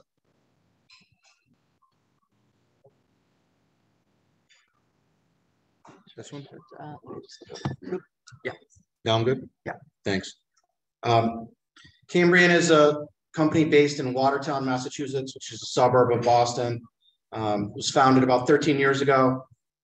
The founder is still the CEO, and we've grown the company to a little over 30 people now. Um, very exciting time.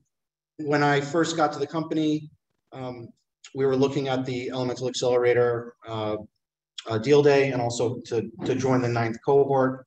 And we were lucky enough to do that. And so that's how I got interested in Hawaii and um, would have come here sooner if it wasn't for COVID. And that's how we were able to open a Honolulu office and hire Lewis, get to work with Pacific Current, get to work with Vi. So very, uh, very good time for our company and our growth mode. So I think this aligns with what everybody in the room is trying to do, trying to uh, make distributed water reuse simple, sustainable, and cost effective.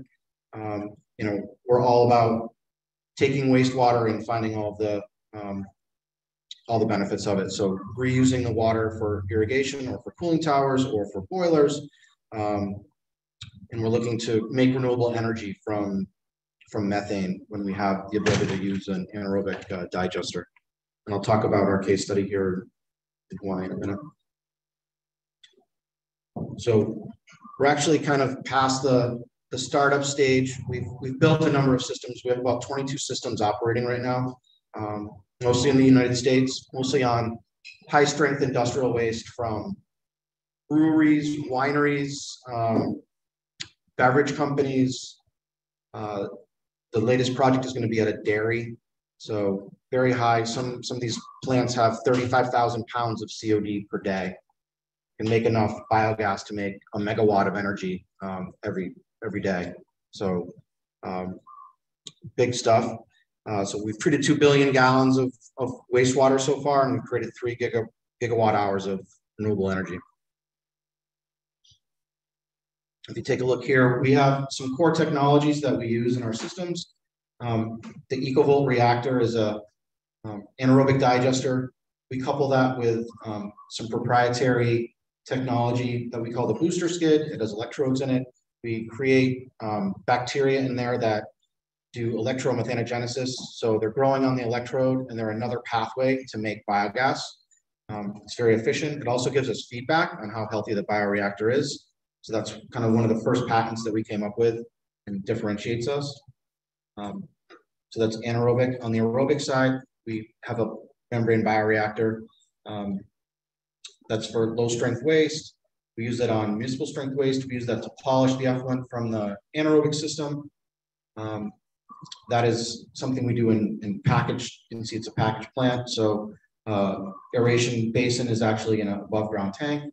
And then the membrane system sits in that, what looks like a shipping container with all the pumps and blowers built in. So it's very modular, very efficient use of space, and we can expand it very easily. The BioViper is a technology that we acquired from a company called Basswood. We acquired them about two years ago, and they were um, doing kind of in the middle. So it's a bulk treatment aerobic system and think of it as a trickling filter inside of a tank. So there's media inside that tank that's doing attached growth aerobic treatment. Half of the media is submerged. So we have a couple of different zones doing different things with the bugs. Um, and so we can take higher strength waste and treat it to source strength and help our customers avoid surcharges being paid to the municipality.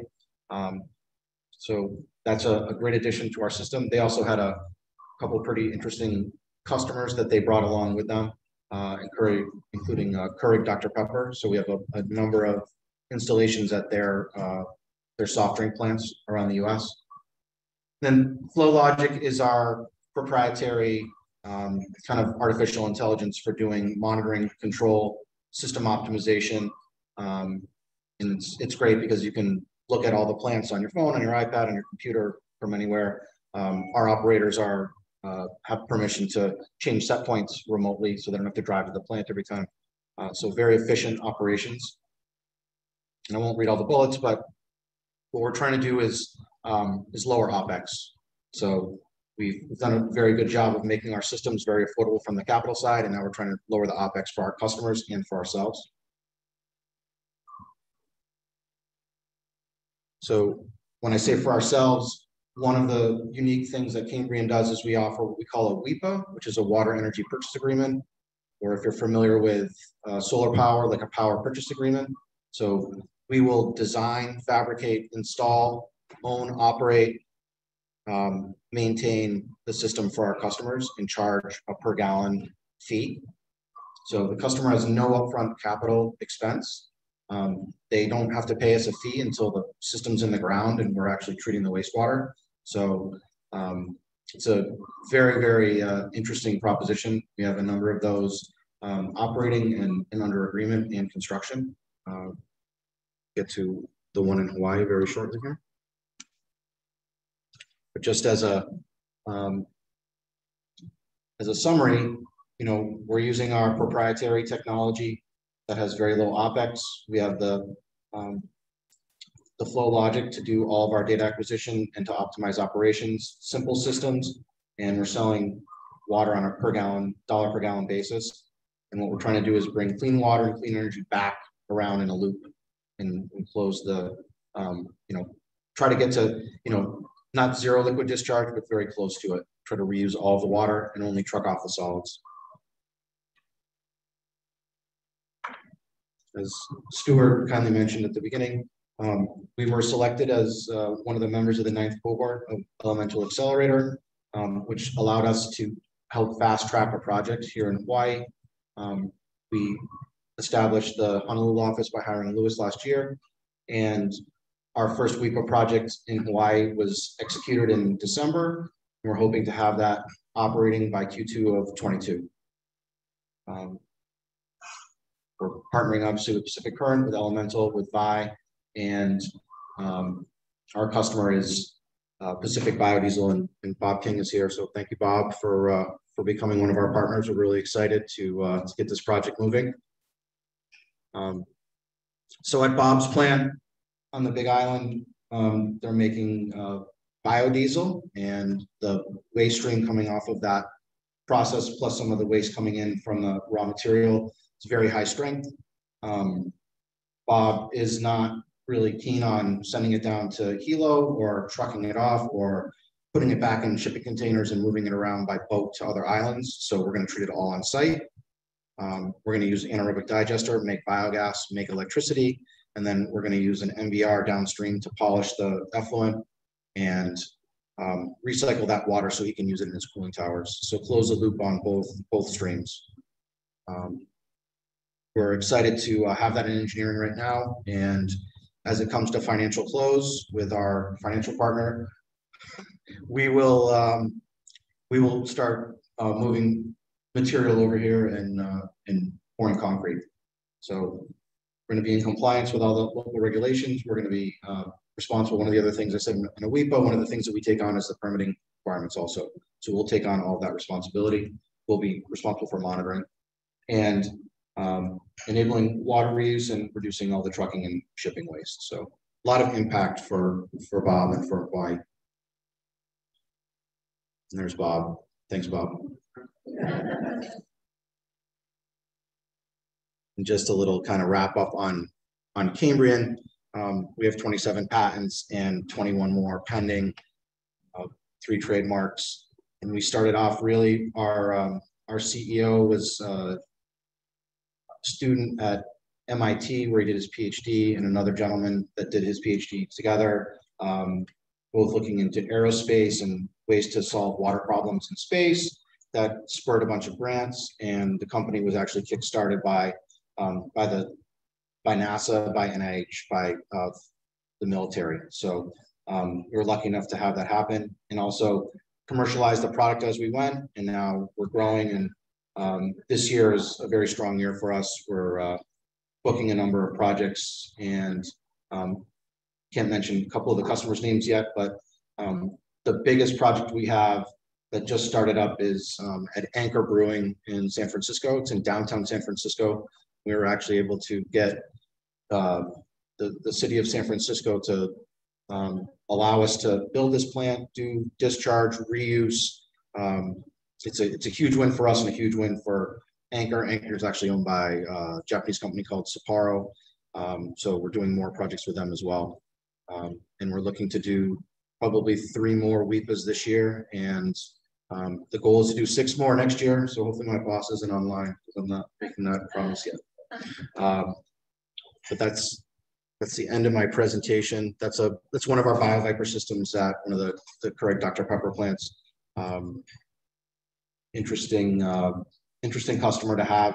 And now they're uh, they're expanding a number of their plants actually because of the the seltzer craze. And so the soft drink companies are now um, expanding and making lots of uh, hard seltzers and um, other drinks, and their wastewater is getting out of control. So it's good business to be in. So thank you. All right. Happy to take some questions. Yeah, thank you. I'll turn this on for you. I think that's already on. Yeah. All right, who's got some questions? This is exciting because we've got, you know, one of the businesses in the room, financial operators. This is what we call synergy, people coming together for new innovative technology. And it's just so cool because these are not only, you know, great companies like Bob's um, and Kelly's Pacific Biodiesel that's so innovative, but they're just people that are mission driven that want to do what's right for Hawaii. And, and, you know, it's just been an incredible success story. Did you have a question? Yeah. yeah. I want to first give full disclosure um, that my my bigger interest in um, when when I first found out this technology was in community, and we have this area of condos that uh, I think it's 23 injection wells in Maalaea that, that discharge into the bay. The bay is officially um, declared an impaired water by the EPA. So that was my first concern. I really wanted them to go there with the first pilot project at the time didn't work out for the grant, but so so then I allowed you to talk about. but um, you know, my my question is that in, in, that project and probably other projects, I mean, if we could do these projects where we're addressing hundreds of versus one unit at a time, we get through that 88,000 number much faster. But what's missing, I think, is I don't think it's going to be to just Maalaea, but is that conveyance section, which is uh, estimated to be about $4 million to get the conveyance of the sewage to the unit. And we have like um, well, plans to try to develop that financial um, source and and you can go ahead and ask my friend Chris Lee about state funding if you want. but you know that that's gonna be, yeah. but that's going to be important because of the fact that the county looks at the SRF fund because it's a loan as, a, um, as something that needs payment. And so when they look at a, a project like this that has private, um, it's a private entity that the payers are paying directly, that money doesn't go to the county to pay back the bond. And so there's a there's that issue with the SRF fund. Um, and open to any ideas for getting over that because I think it has so many implications for for um, housing development. So that's a lot of you. That's a really good point about like new housing developments. It's going to be much easier to do this when you can build it in when they're developing them. And we need to make sure and mandate that they do do these. You know, in the past they were just using injection wells, and now Supreme Court case on injection wells on Maui. This is, you know, everything is kind of up in the air right now. So it's a very interesting and challenging and exciting time. But um, you know, do you want to talk um, about Bill the the project, you know, the project potential project in Maalaea because it's very exciting. Um, it's challenging because all the permits and things, but maybe just talk a little bit about that, um, the Maalaea condos. Sure. So there are 10 condo units, and then there's an aquarium. There's a commercial triangle with a lot of uh, like restaurants. There's a harbor there, and it doesn't make sense to build 10 or 15 separate plants. It, it's just, it's untenable. It's too expensive. So have one centralized plant. We did a design for it. And the problem is the way that the condos are set up, they all have different condo associations and there's no one that speaks for the 10 condos all at once. So there would have to be some kind of master agreement. So first we'd have to understand who's actually going to give us the the purchase order, um, you know, and stand by it. And then as Kelly mentioned, like it's an expensive and probably complicated collection system um, just because of the elevation of the land and where things are. Some would have to be pumped, some could be gravity. And um, we actually went as far as looking for an off taker for the reuse water because we don't want to put it down the injection well. We want to put it, it's going to be very clean. It can be I think we went to R2, but we could go to R1 pretty simply and do land application. There's a lot of land right near there. So we actually talked to people to take the, the water. Um, so it'd have to be a distribution system set up with the effluent to go to that land and then maybe a surface spray system, maybe a drip irrigation. So it's just, there's a lot of moving parts. And I guess the piece that we're a little hesitant to bite off on is we don't want to own a collection system and maintain it. Um, that's not in our our purview. Now we will do that, but we were looking to hopefully find a way for for Maui to to be the collection and you know so we're not we're not there yet but the customer's interested and they there are systems there that are very old and they're putting horrible water down into the um, into the outfall and it's the way that the injection wells were designed they were thinking that the water might percolate offshore 300 400 feet and it's five feet offshore and it's it's in the reef so something has to be done so we're looking for creative solutions yeah. and there's been almost, you know, we're working with someone who grew up there in a home in Maalaea. He lives in one of the condos. He said there's been a 70% reduction in reef cover. He said it is, it was pristine when he was younger. It is destroyed now. So we're talking about the health of our reefs. Um, the good news is there's a $1.3 trillion infrastructure bill that includes water and wastewater coming down the pike. So again, now is the time. Hawaii needs to be bold. Um, and we have, uh, I want to thank uh, Sina Pruder and Joanna Seto from the Department of Health. Um, they're on virtually that we, you know, Joanna has done a great job with the drinking water branch and getting those state revolving funds and SRF money. Um, and we should be hiring people that really focus on that because there's millions of dollars of federal money that we can get. We just need to, you know, uh, make sure that we're doing it. Um, we do we have time for one more question or are we running? I think maybe one more because it was only one question, but. Yeah. And, and one more question, anybody? Uh, yes. Yeah, question. Um, can you um, tell us uh, more about the sizing of the system? Uh, what's the minimum size that you, I mean, uh, so, yeah, so we're, we're, we're looking at a, a smallest system around five thousand gallons per day is, is what makes economic sense for us. And it, we said it's scalable, yeah.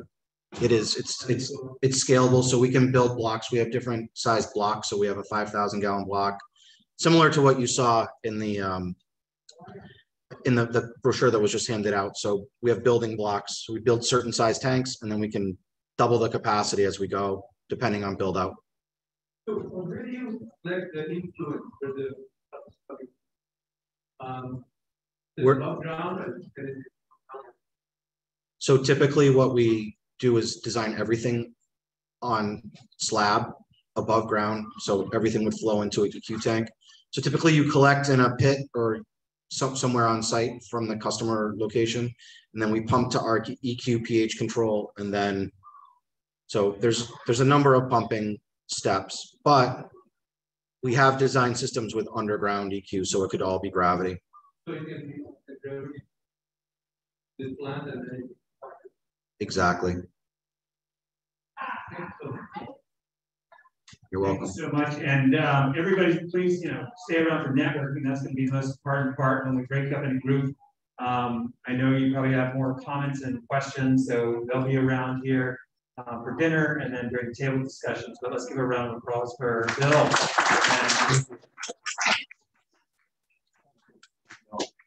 Um, very exciting stuff. So, you know, as Kelly mentioned, this is uh, really important now that we are talking about decentralized community scale systems where we can try to get hundreds and you know even thousands of people and homes um, on these systems especially when you have condos you know that are all situated together um, and so our, our next uh, partner is at that level as well um, is biomass controls um, and we met them uh, at uh, when Senator Chris Lee and I uh, went, were invited to the Bill and Melinda Gates Foundation to give a talk.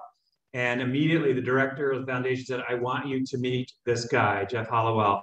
Um, unfortunately, they were planning to be here. They couldn't be here. Um, and but they're just an amazing company. And we've been working with CEO Derek D'Souza and Jeff Hallowell. And we also have weekly calls with them. Um, and their mission is to offer these technologies and innovations to enable rapid refinement of sanitation. And they use agricultural and food um, outputs to treat pathogens, reduce greenhouse gases, sequester carbon, and improve soil health. And they do this, um, you know, they have, it's even though they're a private company, they definitely are mission driven to help human health, the climate, and the environment. And they want to be a leader. They've got pilot projects around the world, um, in India, in Pakistan, and ironically, the one in India, one of their units is at a town called Wai, W-A-I. So we knew we were in the right place when we were partnered with this company. Um, it's just one of the signs. Um, and so they are um, a, a, leader in this field and one of the more successful of the Gates technologies around the world. These are some milestones. That's Jeff on the right, and that was the exhibit where I met him in Beijing. Um, and as you can see, they've gotten all kinds of, uh, been invited to all kinds of accelerator cohorts um, and developed projects um, around the world. You know, they were focused originally because of the Gates Foundation um, on human waste, They've moved into animal waste. Now they're doing food waste. And the great thing about this technology, which is based on pyrolysis, is they can take all kinds of inputs um, to, to process them. This is the um, like interior view of the equipment. They have a number of uh, patents and, and ones that are pending. Um, and they have uh, this uh, Kelvin app where also everything can be monitored on their phones. Um, so it's amazing. They if anything is just goes off scale a little bit, or they can get pinged on their phones. Um, and so it's a, you know, it's based on an ancient technology um, or practice, I should say, in the Amazon, um, what they called terra preta, black earth, um, where they burned um, waste and put it into the soil, and they found even 800, 1,000 years later, the soil still held up. They were rich with carbon. They didn't erode. Um, they had lots of microbiotic life. And so they've taken this and, and really developed it into a very exciting um, technology. So part of the, um, you know, the environmental effects is there's a reduction of odor, pathogens, greenhouse gas emissions, um, nutrient leaching, because a lot of this sludge waste would normally be taken to a landfill. Um, and uh, they avoid that because at the landfills, there's often nutrient leaching. Um, and our landfills are already filled, as uh, Kelly knows well, and um, in Maui, they're um, reaching capacity, and as most are on our island. But there's also, in working with Jim Mothersbaugh, we found that they're really just basic um, savings, economic savings as well, and we can recover um, the nutrients. We can use them as fertilizers, soil amendments, and um, we do volume reduction and we can get reuse, reuse efficiency um, and that you capture a lot of these gases and you can use that for energy and you can use the products for many different things from water filtration to air filtration um, and to a soil amendment. Um, and, you know, we always remember, especially these companies that are international, that sanitation is one of the largest you know, causes of disease and death around the world. Um, and so it's important to kind of remember that, that what we're doing here is has global implications because there are all kinds of um, deadly, uh, you know, contaminants that, uh, you know, we're lucky here in that we don't deal with them as much, but we're still dealing with them. Hawaii has the highest um, MRSA and staph rates in, in the country. Um, so uh, two times the level of, um, Christina, correct me, two times the level of staph and four times the level of MRSA? Yes.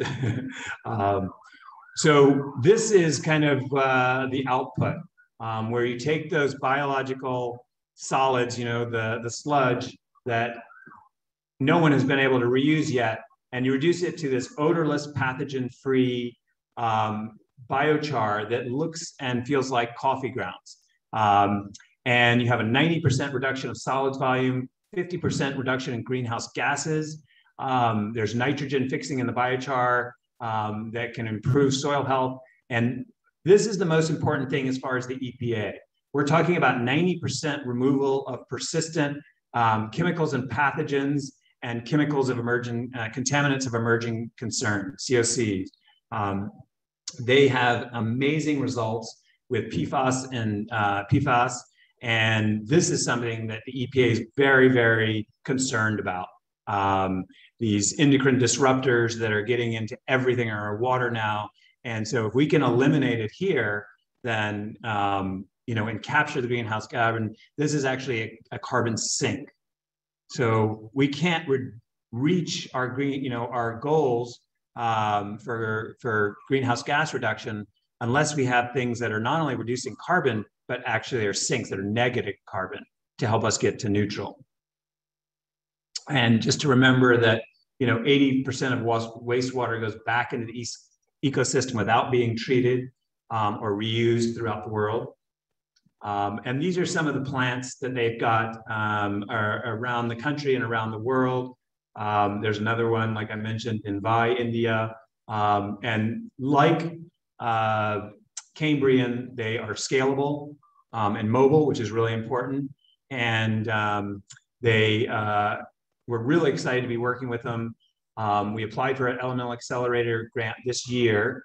Um, and we're working with Water Tectonics, Jim Mothersbaugh, who um, is based out of Washington, but he also um, owns and operates a small wastewater treatment plant in Makena, Maui. And we're very excited about this. They're moving forward on, a, on their first pilot project. Um, and uh, Jim is one of the most innovative people I know. And so when we introduced them to biomass, he did his research and his due diligence for you know six months at least and he's like, this is something. Um, there's a lot of potential here. So we're really excited about that. Um, basically, you know, these are kind of, it fits with the circular economy principles that we embrace. We're trying to get stuff away from the landfill. Um, and, you know, Jim was talking about like at landfills, he was doing 90 truckloads to the local landfill. And you can imagine the greenhouse gases that are associated with that, the tipping fees, all the expenses if you can reduce that completely and process all that on site, um, you're avoiding taking stuff away, you know, to the landfills um, where you continue to produce greenhouse gases.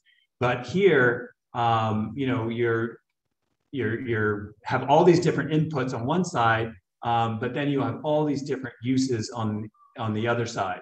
Um, carbon capture, the uh, energy that's produced, thermal energy, pasteurized water, um, and so together, if you can imagine, Cambrian and biomass controls, if we can compare that, you could do 100% recycling of solids and liquids. That would be a first. That would be a major accomplishment that would have global implications. And I think this is where we're moving.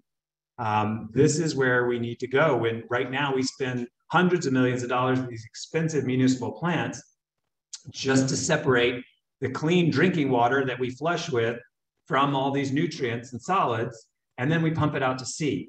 Um, and we don't need those nutrients in the water, we need them on land.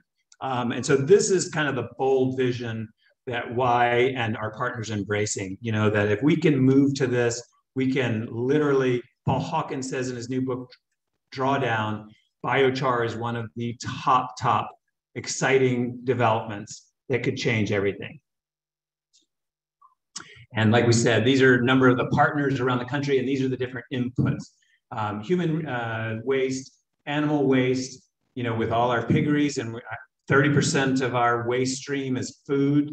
Um, that's ridiculous that it's ever sent to, you know, uh, to to be burned or, you know, at H power or to a landfill where it continues to produce methane. Um, and, uh, you know, restaurants were required to send, if they're a certain size, this waste to piggeries, but then piggeries have their own problems. And so you could use this to help treat the waste from the piggeries, but also even avoid a lot of that waste going there. Um, so we're excited about the different applications of this. This is the team. Jeff Hallowell is the founder. Derek is the CEO. Jeff Wong and then Allison um, all work together. This everywhere they set up these plants, they um, they are, are very big about um, diversity and equity and inclusion. So they hire local people, they make sure it's a diverse team, and they're very excited about excited about coming to Hawaii and doing just that. And even though um, they've got 250 years, they they're much younger than that when you see them in person. Um, and this is what I was saying about diversity and equity. Um, all their plants around the world um, are, are really uh, diverse teams and they've kind of energized the local economy. Um, and this from UNESCO, we really need to, you know, make sure that this is an affordable source of water, energy, and nutrients and other recoverable materials because we're wasting it right now. Um, and so this is just a little bit about them, but I'd like to kind of open it up for questions and discussions if we could. Who would like to ask a question? Hold on one second here.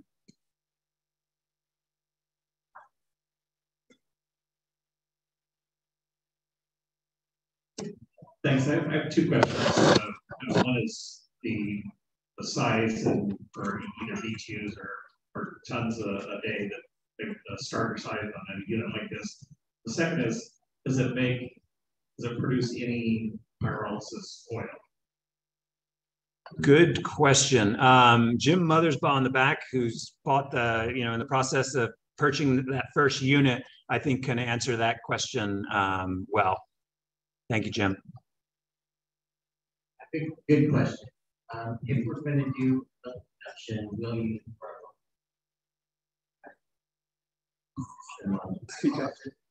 um, the system that we're looking at at Makena uh, will do roughly 1,200 dry pounds a day. Um, and so uh, put that in perspective, a 100,000 gallon um, per day wastewater plant produces roughly 2,000 pounds of biosolid uh, dry salt. Um, the thing that is really exciting, which is separate from this group in Hawaii, but it actually is combined, is that the Department of Energy has come in behind us with a major grant uh, in the millions. Um, and we have put together a team on pyrolysis people around the country, including a Dr. Crow from the University of Hawaii, who is the top biochar person here. And so there's a lot of black art and misinformation about biochar. People will say, well, it's the worst thing I've ever done, best thing I've ever done, and nobody really knows why it was so good or so bad. They just know it was something happened. So with this group, which is made up of the University of Cincinnati, UC Berkeley, UCLA, it just keeps going on, EPA, Region 9, um, Colorado State, um, we are going to actually be determining what is the porosity point that you want to make the biochar at, how much air is needed in the reaction chamber to make the best absorption, but then even more so, how do you desorb? So that if you are going to absorb phosphate, how do you actually put it in the soil and know when it's going to release that phosphate?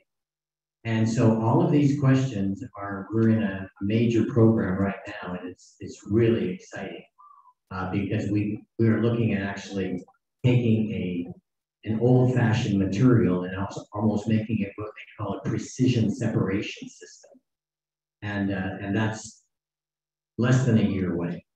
Biomass uh, actually donated a complete system to Colorado State so that the work we do in Makena can be duplicated in Colorado State uh, with the national labs to determine exactly what is happening. And so it's um, it, it's sort of a fun project. Yeah. Hope that helps. Yeah, but thank you. We are looking at oil separation, but in the future, not this one. And the exciting thing is that we can use it uh, like in biofilters for stormwater um, reduction, capturing nutrients um, before they get out into the near shore. Um, so there are a lot of exciting applications. Other questions? One at a time, please.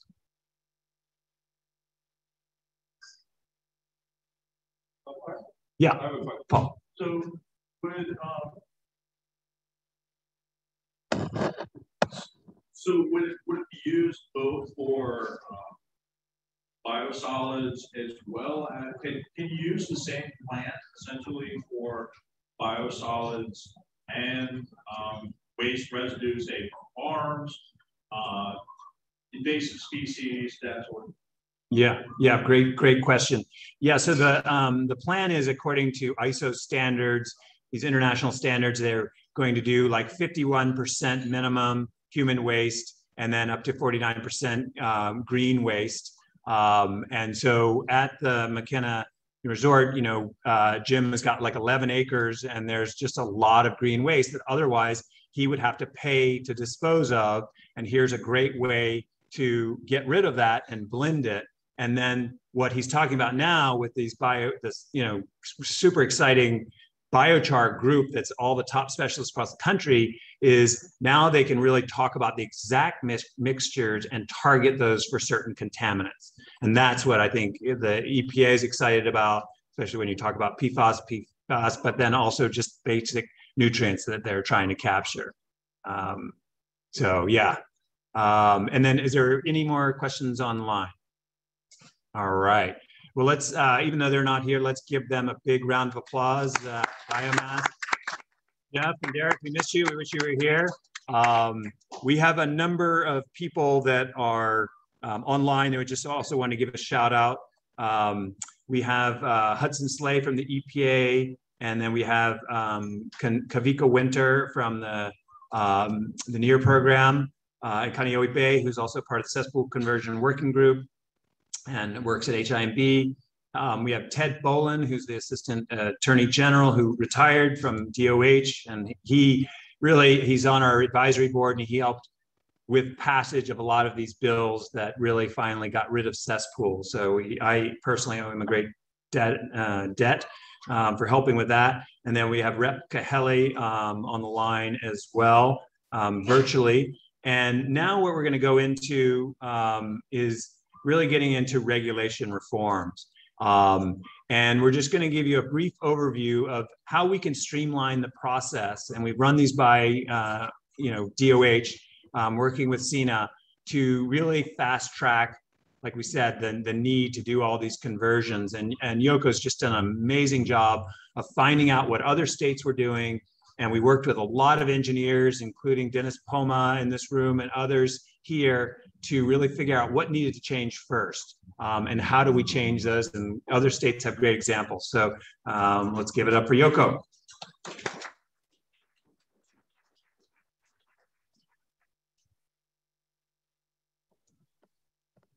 All right. I like this mic better. Um, so yeah like stuart said we discussed 10 regulation reforms for the code mostly of how individual wastewater systems are permitted, including cesspool replacements in Hawaii. Um, we collaborated with actually a lot of the folks in this room and on Zoom, so thank you all very much for contributing. And um, the Department of Health Wastewater Branch took the time to review and put together responses for us, so thanks to them very much, um, because we're all working together, like Stuart said. This is a common project. Um, the private industry academia, but also regulators, nonprofits, everybody has to pull on the same string to replace all these cesspools. And uh, you can find in your dark blue folders that are on your table an excerpt from these recommendations. Thanks Raquel for showing them. Um, I'm not going to go through all of them. What I'm going to do is I'm going to announce sort of products of our conversation with the Department of Health about this. Now, I don't misrepresent them. Um, the first uh, highlight I want to show you is uh, one of our recommendations of how the variance application system can be re revamped um, is actually something that the Department of Health is already working on.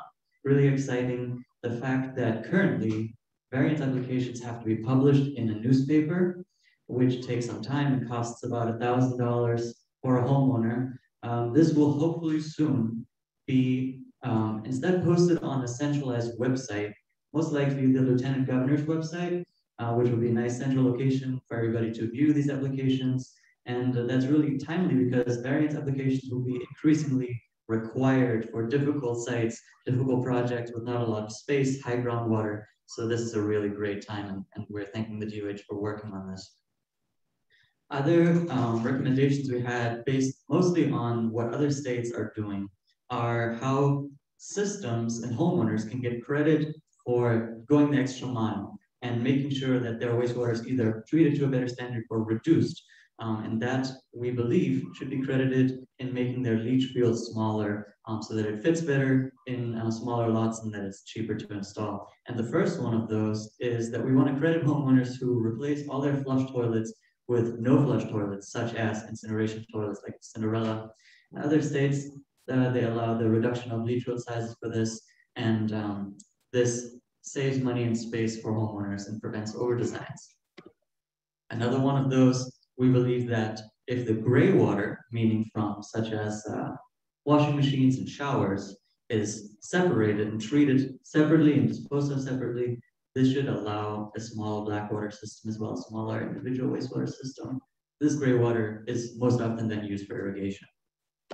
And lastly, but not leastly, the National Sanitation Foundation has put out these standards we mentioned earlier. And if um, a, for example, an Eljen GSF, a Fuji Clean ATU, or to reuse bioreactor garden that has these certifications, produces this cleaner water, the leach field has a much easier time of disposing it into the surrounding ground. And so the system should be allowed to be smaller. And we realize that this is not easy to implement, most of, uh, mostly because you have to be able to verify that these things are the case. And how do you verify? You inspect. However, the Department of Health right now doesn't have enough staff to do these inspections. And that is something that should concern all of us because if the systems aren't working, if tanks are failing, if flush toilets that are supposed to be replaced aren't replaced, then all of us suffer in the end. And so we believe that the support for the administrative bill that the Department of Health is going to be putting in for more funding, for more staff, should deserve all of our support. And so we will keep you updated on that and let you know how to support this together. And lastly, another great piece of news, um, the soil replacement mechanism, and I'm trying to go not too technical here. Essentially, soil replacement happens when the existing soil, if there is existing soil, percolates either too fast or too slow. Then you bring in dirt that's kind of in the middle. And right now, this happens on a case-by-case -case basis the installer has to go the extra mile to find some dirt that might be the right percolation and test it. If it's not, you have to dig it back up. It's a whole mess. So the project idea for collaboration between WAI and the Department of Health would be that WAI goes to each quarry on these islands, and there are a lot of them. We test the available soils that they have, test it for percolation rate, and publish the resulting list that all engineers, all installers can use it and make it easy, standardized, fast, and affordable. And this project will hopefully be funded by a grant If you all have any ideas for somebody who might be interested in funding this, we have an open ear. And the Department of Health has assured us that they would give us written support for this type of project. So this is exciting to work on together. And I'll hand it back over to Stuart for the next part about policy recommendations. Thank you. Thank you, Yoko. Um, Yoko really has done a great job in putting together these reforms. It took months and months and months it's a long list. So for those of you who are in this field, we'd really appreciate if you could take a long, you know, a look at those um, because the legislative session is coming up. There's some going to, they're going to be internal rule changes at DOH, but there's some that are going to be policy. And that's what we're going to talk about now um, that, that we feel are just essential for the state to move forward on this issue. Um, and just kind of as an overview, um, this is what we went back to. We, um, talked about the, um, you know, in 2016, that was when we made our first big move, the ban the construction of new cesspools. Um, and that also created the $10,000 tax break for homeowners to upgrade their systems. Unfortunately, that was supposed to be modeled after the solar um, tax credits. And so it was supposed to be for companies to be able to pool together those tax breaks so that they could help fund and work with homeowners to do those conversions um, and take care of all the paperwork. Um, they found that individual homeowners, the way they passed it, don't have an appetite, don't even know how to take advantage of that. So it did not work well. Um, and I think on that way, they're a little burned and they're like, we don't want to do this again, but it's like it was done the wrong way. If we do it the right way, if we incentivize businesses, we can really start to make a lot of progress. Um, then we passed Act 125, um, which up, mandated the upgrade of all cesspools by 2050 required UH to do this upgrade priority report, um, which was done, but we're still um, evolving that. And then Act 132 created the cesspool conversion working group, which I serve on. would love feedback from you all. Um, you know, we need to, this is the year that we're rolling out our recommendations. Um, and Roger Babcock has been really instrumental, has helped put together some of the reports. Um, and then uh, folks at Carollo have also been working on that and engineering. Um, and then now we're going to talk about some of the bills that we still need to pass and that we've been working on for the last few years.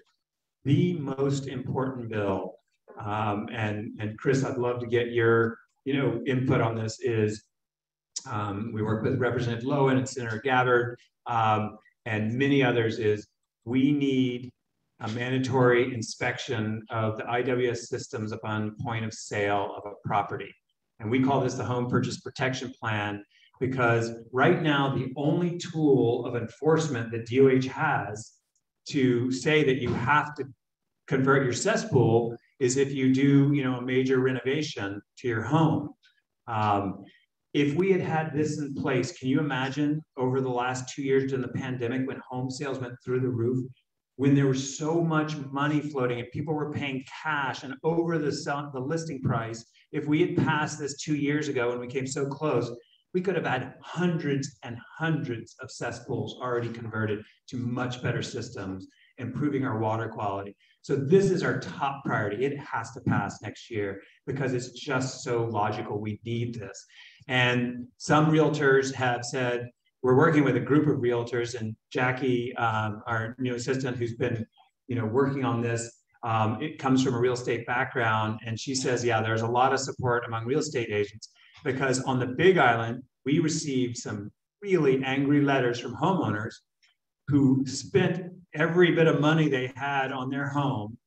And when then they went to renovate it, they found out they'd have to spend, you know, anywhere from twenty-five to fifty thousand dollars converting their cesspool, and they were pissed, frankly.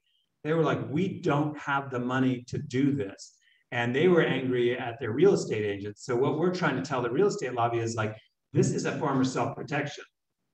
You know, this is a way to decrease your liability because you don't want people angry at you, um, homeowners that are doing these things. And so um, that's our top priority right now.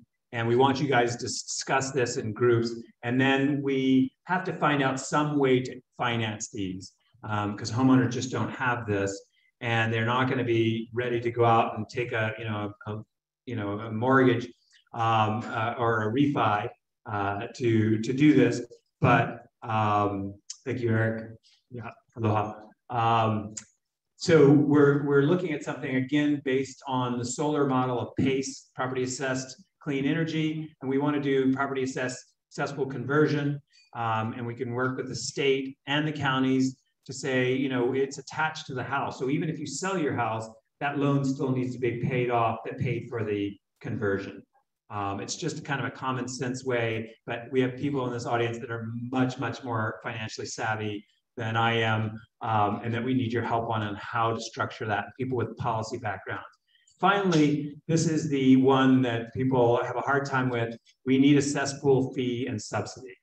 Right now, the biggest polluters are the people with cesspools, but ironically, they don't pay any money. People who pay sewer fees and pay lots of money to upgrade their individual wastewater systems pay lots of money, but they're not contributing to the problem. So we've got this upside down world and you know there's no penalty there's no cost. So they're like why would i convert my cesspool? So we have to associate a cost with that.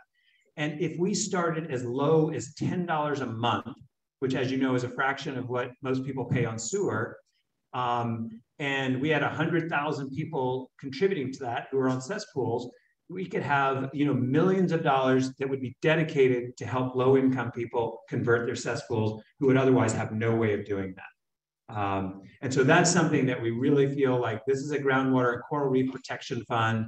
It's got to be, the money's got to be set just for that.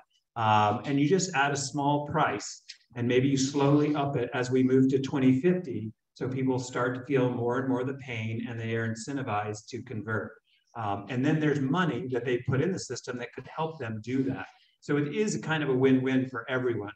Um, and that's uh, kind of the overview of those three policies that we think are going to be really key for the next legislative session. Um, And so, you know, as we've talked about before, with the 2050 deadline, we need to do be doing about 3,000 cesspools a year. We're doing about 150 to 200 right now. Uh, we need to avoid those bottlenecks and address the really serious water quality issues. And uh, Christina is working with some of the top researchers in the state um, to really document those and with, DA, with DAR's 30 by 30 program. And so what we want to ask you, you know, at the tables is we can focus on, depending on what your table wants to do, we can focus on policy, finance, um, or um, you know, Christina is going to give you a little bit of a quick overview about the financing options, but we're going to break up into these different categories um, that we want you to look at um, during the roundtable, and then we'll report out after that. Um, so I'll pass it to Christina now to give you an overview of finance.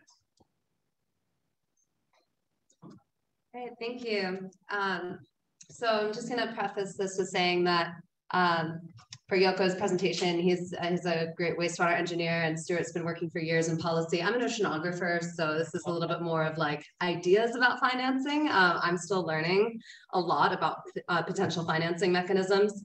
Um, so I am, yeah, just I'm curious to hear your guys' feedback and hear any ideas that folks in the audience have about financing options. Um, so here's some of the ways that we've been looking into at WAI um, to attempt to uh, help homeowners finance their cesspool conversions. Um, one of the mechanisms that's available is the USDA Rural Development Grant and Loan Programs. These are 502 and 504 loans.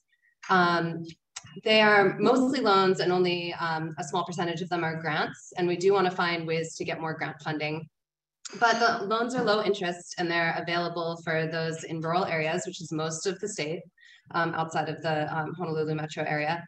And um, they're also um, subject to some pretty low thresholds in terms of property values, um, at least for Hawaii, where we have really high property values, even if you live in a modest home, um, land values are really high. So it is limited to who's eligible, but that is definitely an existing program that can help homeowners finance at a low interest rate.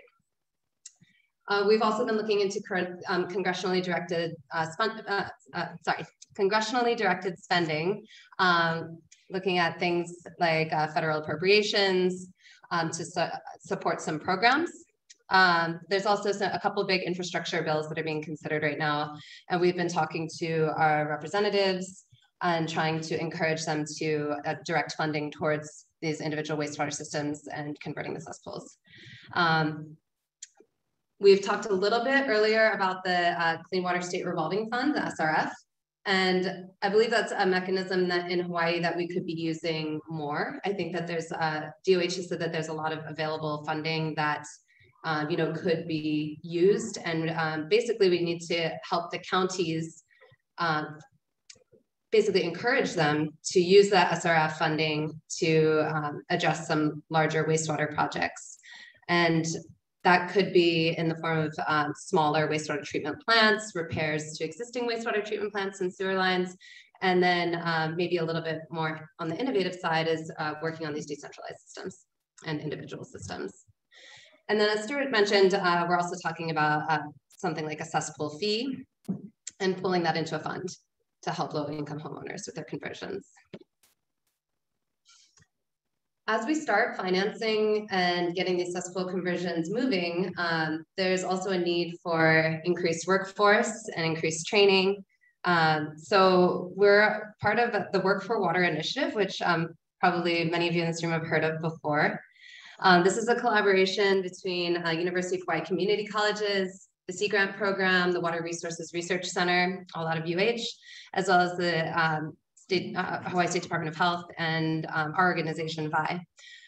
Um, so this program would basically include training pathways and job training pathways to encourage um, in, encourage the wastewater sector to grow. Um, this would be, as I said, in partnership with the Hawaii Community Colleges. And we're also uh, partnering with the Department of Hawaiian Homelands.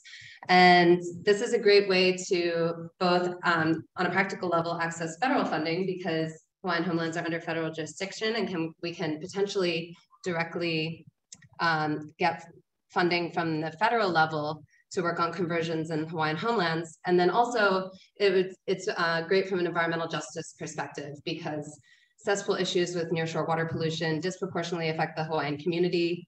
And it would be, um, I think, really ideal to help Hawaiian homeowners um, early on in this process. And um, finally, for this Work for Water initiative, we are actively seeking federal funding um, and also uh, looking for grants and lots of different pathways to try to um, try to fund this workforce development program.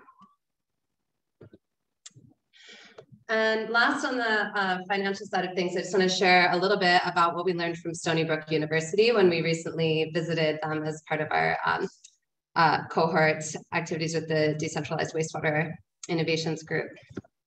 So Stony Brook has really uh, found that it's hugely important to have economic incentives to convert cesspools. So they've been able to um, pool a combination of state and county grants um, to individual homeowners. So they can do something like $10,000 from the state, $10,000 from the county, and then a few $5,000 grants that people are eligible for depending on their income, where they live in a priority area, what type of system they're using, special sand filters, that kind of thing. So uh, folks can kind of piece together the grant funding that they need to be able to convert. And then the next question is, where does all that funding come from? And what we learned when we visited them was that they really have a diversified um, kind of funding portfolio to help people with the conversion. So this includes um, a local sales tax in Suffolk County, just in the county. That's a 0.25% sales tax that goes directly to a water quality fund. And that helps uh, fund these conversions. There's also um, the kind of federal pot to the state to the county, um, that kind of funding pathway. Um, specifically, the Clean Water Infrastructure Act of 2017 um, has 15 million per year to New York State. And because Suffolk County has the highest number of cesspools and a really, really effective program, um, they're actually getting about $10 million per year of that state funding to address this high priority area. So, um, so they have a consistent funding through that program as well. Uh, they were they also took advantage of FEMA funding after Hurricane Sandy, and they have really uh, documented their nitrogen pollution problem really thoroughly, traced it um, using isotopes and really specific tracing pathways so that they know that the nitrogen pollution in their water sources is coming directly from uh, cesspool leaching and uh, human derived wastewater sources. So since they, they know that, um, they can do uh, basically use these nitrogen pollution thresholds uh, to, um, to get some funding as well. And finally, at the community level, they have some loans available through a community development corporation. So I'm just kind of tossing all of those ideas out there as some ideas of diversified funding sources that we may be able to mimic or um, kind of get some inspiration from to figure out how to fund these conversions for Hawaii. So um, that's it for our kind of intro to those those topics. And at this point, we're going to be breaking out into some groups for discussion. Um, on Zoom, we'll be sending you guys to some breakout rooms, um, and make sure you open the the document that's in the um, in the chat. That'll have the questions, uh, the discussion discussion questions. So we'll have about online uh, online folks. I sound Australian online. Um, and uh, thanks for sticking with us. And sorry you couldn't be here in person. Uh, we really appreciate you staying on. We have uh, folks uh, in person here from Department of Hawaiian Homelands. We also have Nancy, who we've been working with, um, McPherson from DHHL. Uh, and so this is an exciting new partnership and uh, we think we can get federal funding to help those folks, which is exciting. Um, so you know, I it's it's fascinating to hear your input because these are you know people in the room today are really um, some of some of you are like top of your field and and and most of you are involved in this whether it's directly or peripherally. And we're all involved in this issue. There's no escaping it because whether you're on sewer and you're like oh i don't have to deal with this where you go swimming throughout the island, there are places that are not. And so it affects every one of us. And when we're talking about drinking water, that's our bottom line. That's the most important thing. And that's why we're named WAI, because it comes down to, to water. Um, And but the Hawaiian word for wealth, Wai Wai, if we do this right, if we use these market market mechanisms um, and find ways to grow businesses locally here and hire more people, we can do this. Um, you know, the two tables in the back were both mentioning the storm water fee that's moving forward. Sherry had mentioned that, um, and and Roger had talked about it. This is something that they, the county, uh, city and county of Honolulu has been working on for a while. Um, now's the time to see if we can tie that in with wastewater because you can't separate them, right? If you have stormwater runoff, you have wastewater runoff from all these cesspools. Um, and I'm really excited about the idea. You know, it's so fascinating that we have a state senator with Chris Lee, who's been working on this issue for a number of years, um, and Kelly King from the county council, you know, and he was saying, like the stormwater bill that we helped pass, we passed a law that my friend Roth wrote that you had to enable the counties to charge the stormwater fees. So we passed a state bill to allow that to happen because people sued in Maryland said, you can't charge us these fees. You don't have the prerogative. You don't have the power to do that. And so this might be a model that we can use where the state says, yes, you can do this. You should do this, empowers the state. They have more of the collection organism, whether it's the collection body, whether it's through the Board of Water Supply or what else did we say? Property taxes, um, to do it through that. So something that there's some enforcement mechanism.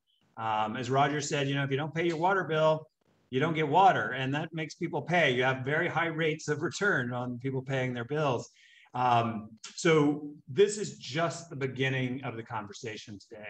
Um, I, we hope all of you will stay here and um, we have great food and drinks, and this is the fun part where we get to network and talk. Um, but let's keep this conversation going. Um, there are a number of people we talked to today that anytime you want to set up uh, a meeting, a Zoom meeting, we're always available. We like to think that we are getting people out of their silos and getting people meeting together from all different fields. And when you look around, the level of expertise and knowledge in this room is incredible. Um, so let's all commit to keep it going because it's a major problem from the state and we can make progress. And the good thing is with the current administration, infrastructure is the single word that echoes out the most uh, from their priorities, as well as you know environmental and social justice issues. And this is these are linked to this issue. Um, and so I think through business and through federal uh, money, we have a lot of potential coming down and a lot of attention being paid to this issue. Um, before we uh, break, I just want to say a huge mahalo um, to Bill uh, and Lewis um, at Cambrian. You know, Bill traveled all the way from Boston, so we appreciate that. Um, and then we have, you know, uh, Dennis and Richard from Fuji Clean. Um, they've been great partners. They sponsored us today. Um, the folks from Eljen, Ridge to Reefs, Paul and Kelly also traveled from the East Coast, and we really appreciate that. Um, so let's give them a quick round of applause.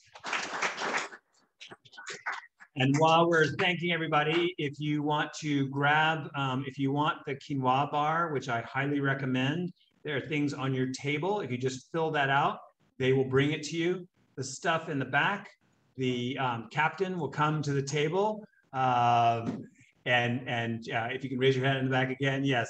Um, she will come and uh, we'll do it table by table. And um, but make sure we take advantage of the quinoa bar and eat and drink because we've got lots of food because we're under um, our original numbers. So I also want to thank our sponsors, um, Jim Mothersbaugh from Water Tectonics, who flew in from Washington and has been just a great partner and uh, Dennis at ACSI, Pacific Current, Scott and Justin have been great partners as well, and we really appreciate they bring such financial expertise um, and legal expertise. So let's give it up for our sponsors as well. And then we have our funders from, you know, our, our large donors. Um, so Amy uh, Hennessy, who's online today from Ulupono, want to thank them for the support of this and also for the lovely books, the journals. Don't forget to take those home and the pens. Um, and Amy's just been a friend for a long time, and Ulupono is doing great work with issues like these. Um, and then Eric, who had to leave a little early at Castle Foundation. Castle was one of our original backers. I want to thank them as well as the folks at the uh, Omidyar um, Family Foundation. Um, finally, uh, I really want to thank, we have the most amazing team. I want to thank uh, Raquel, who helped organize this whole thing, and we appreciate that. Um, we're going to miss you, and we appreciate all the work, um, but we're glad you could help train and bring in Jackie, who's going to do a great job as well. Um, to, uh, to our volunteers, um, who just did a great job. Ali and Joel both worked for us this summer doing internships. Joel's a legal scholar, gave us some great um, reports, and we appreciate. And Ali did some great work with Christina doing water quality work as well. Um, John Anner, who unfortunately had to run, he's got to catch a plane, or his wife was going to kill him. Their anniversary is tomorrow, so he has to be uh, back there for that. Um, and then uh, finally, I just really want to give a big shout out to um, Yoko, our wastewater engineer, and Christina. I could not ask to work with better people, so let's give them a big round of applause for all their great work.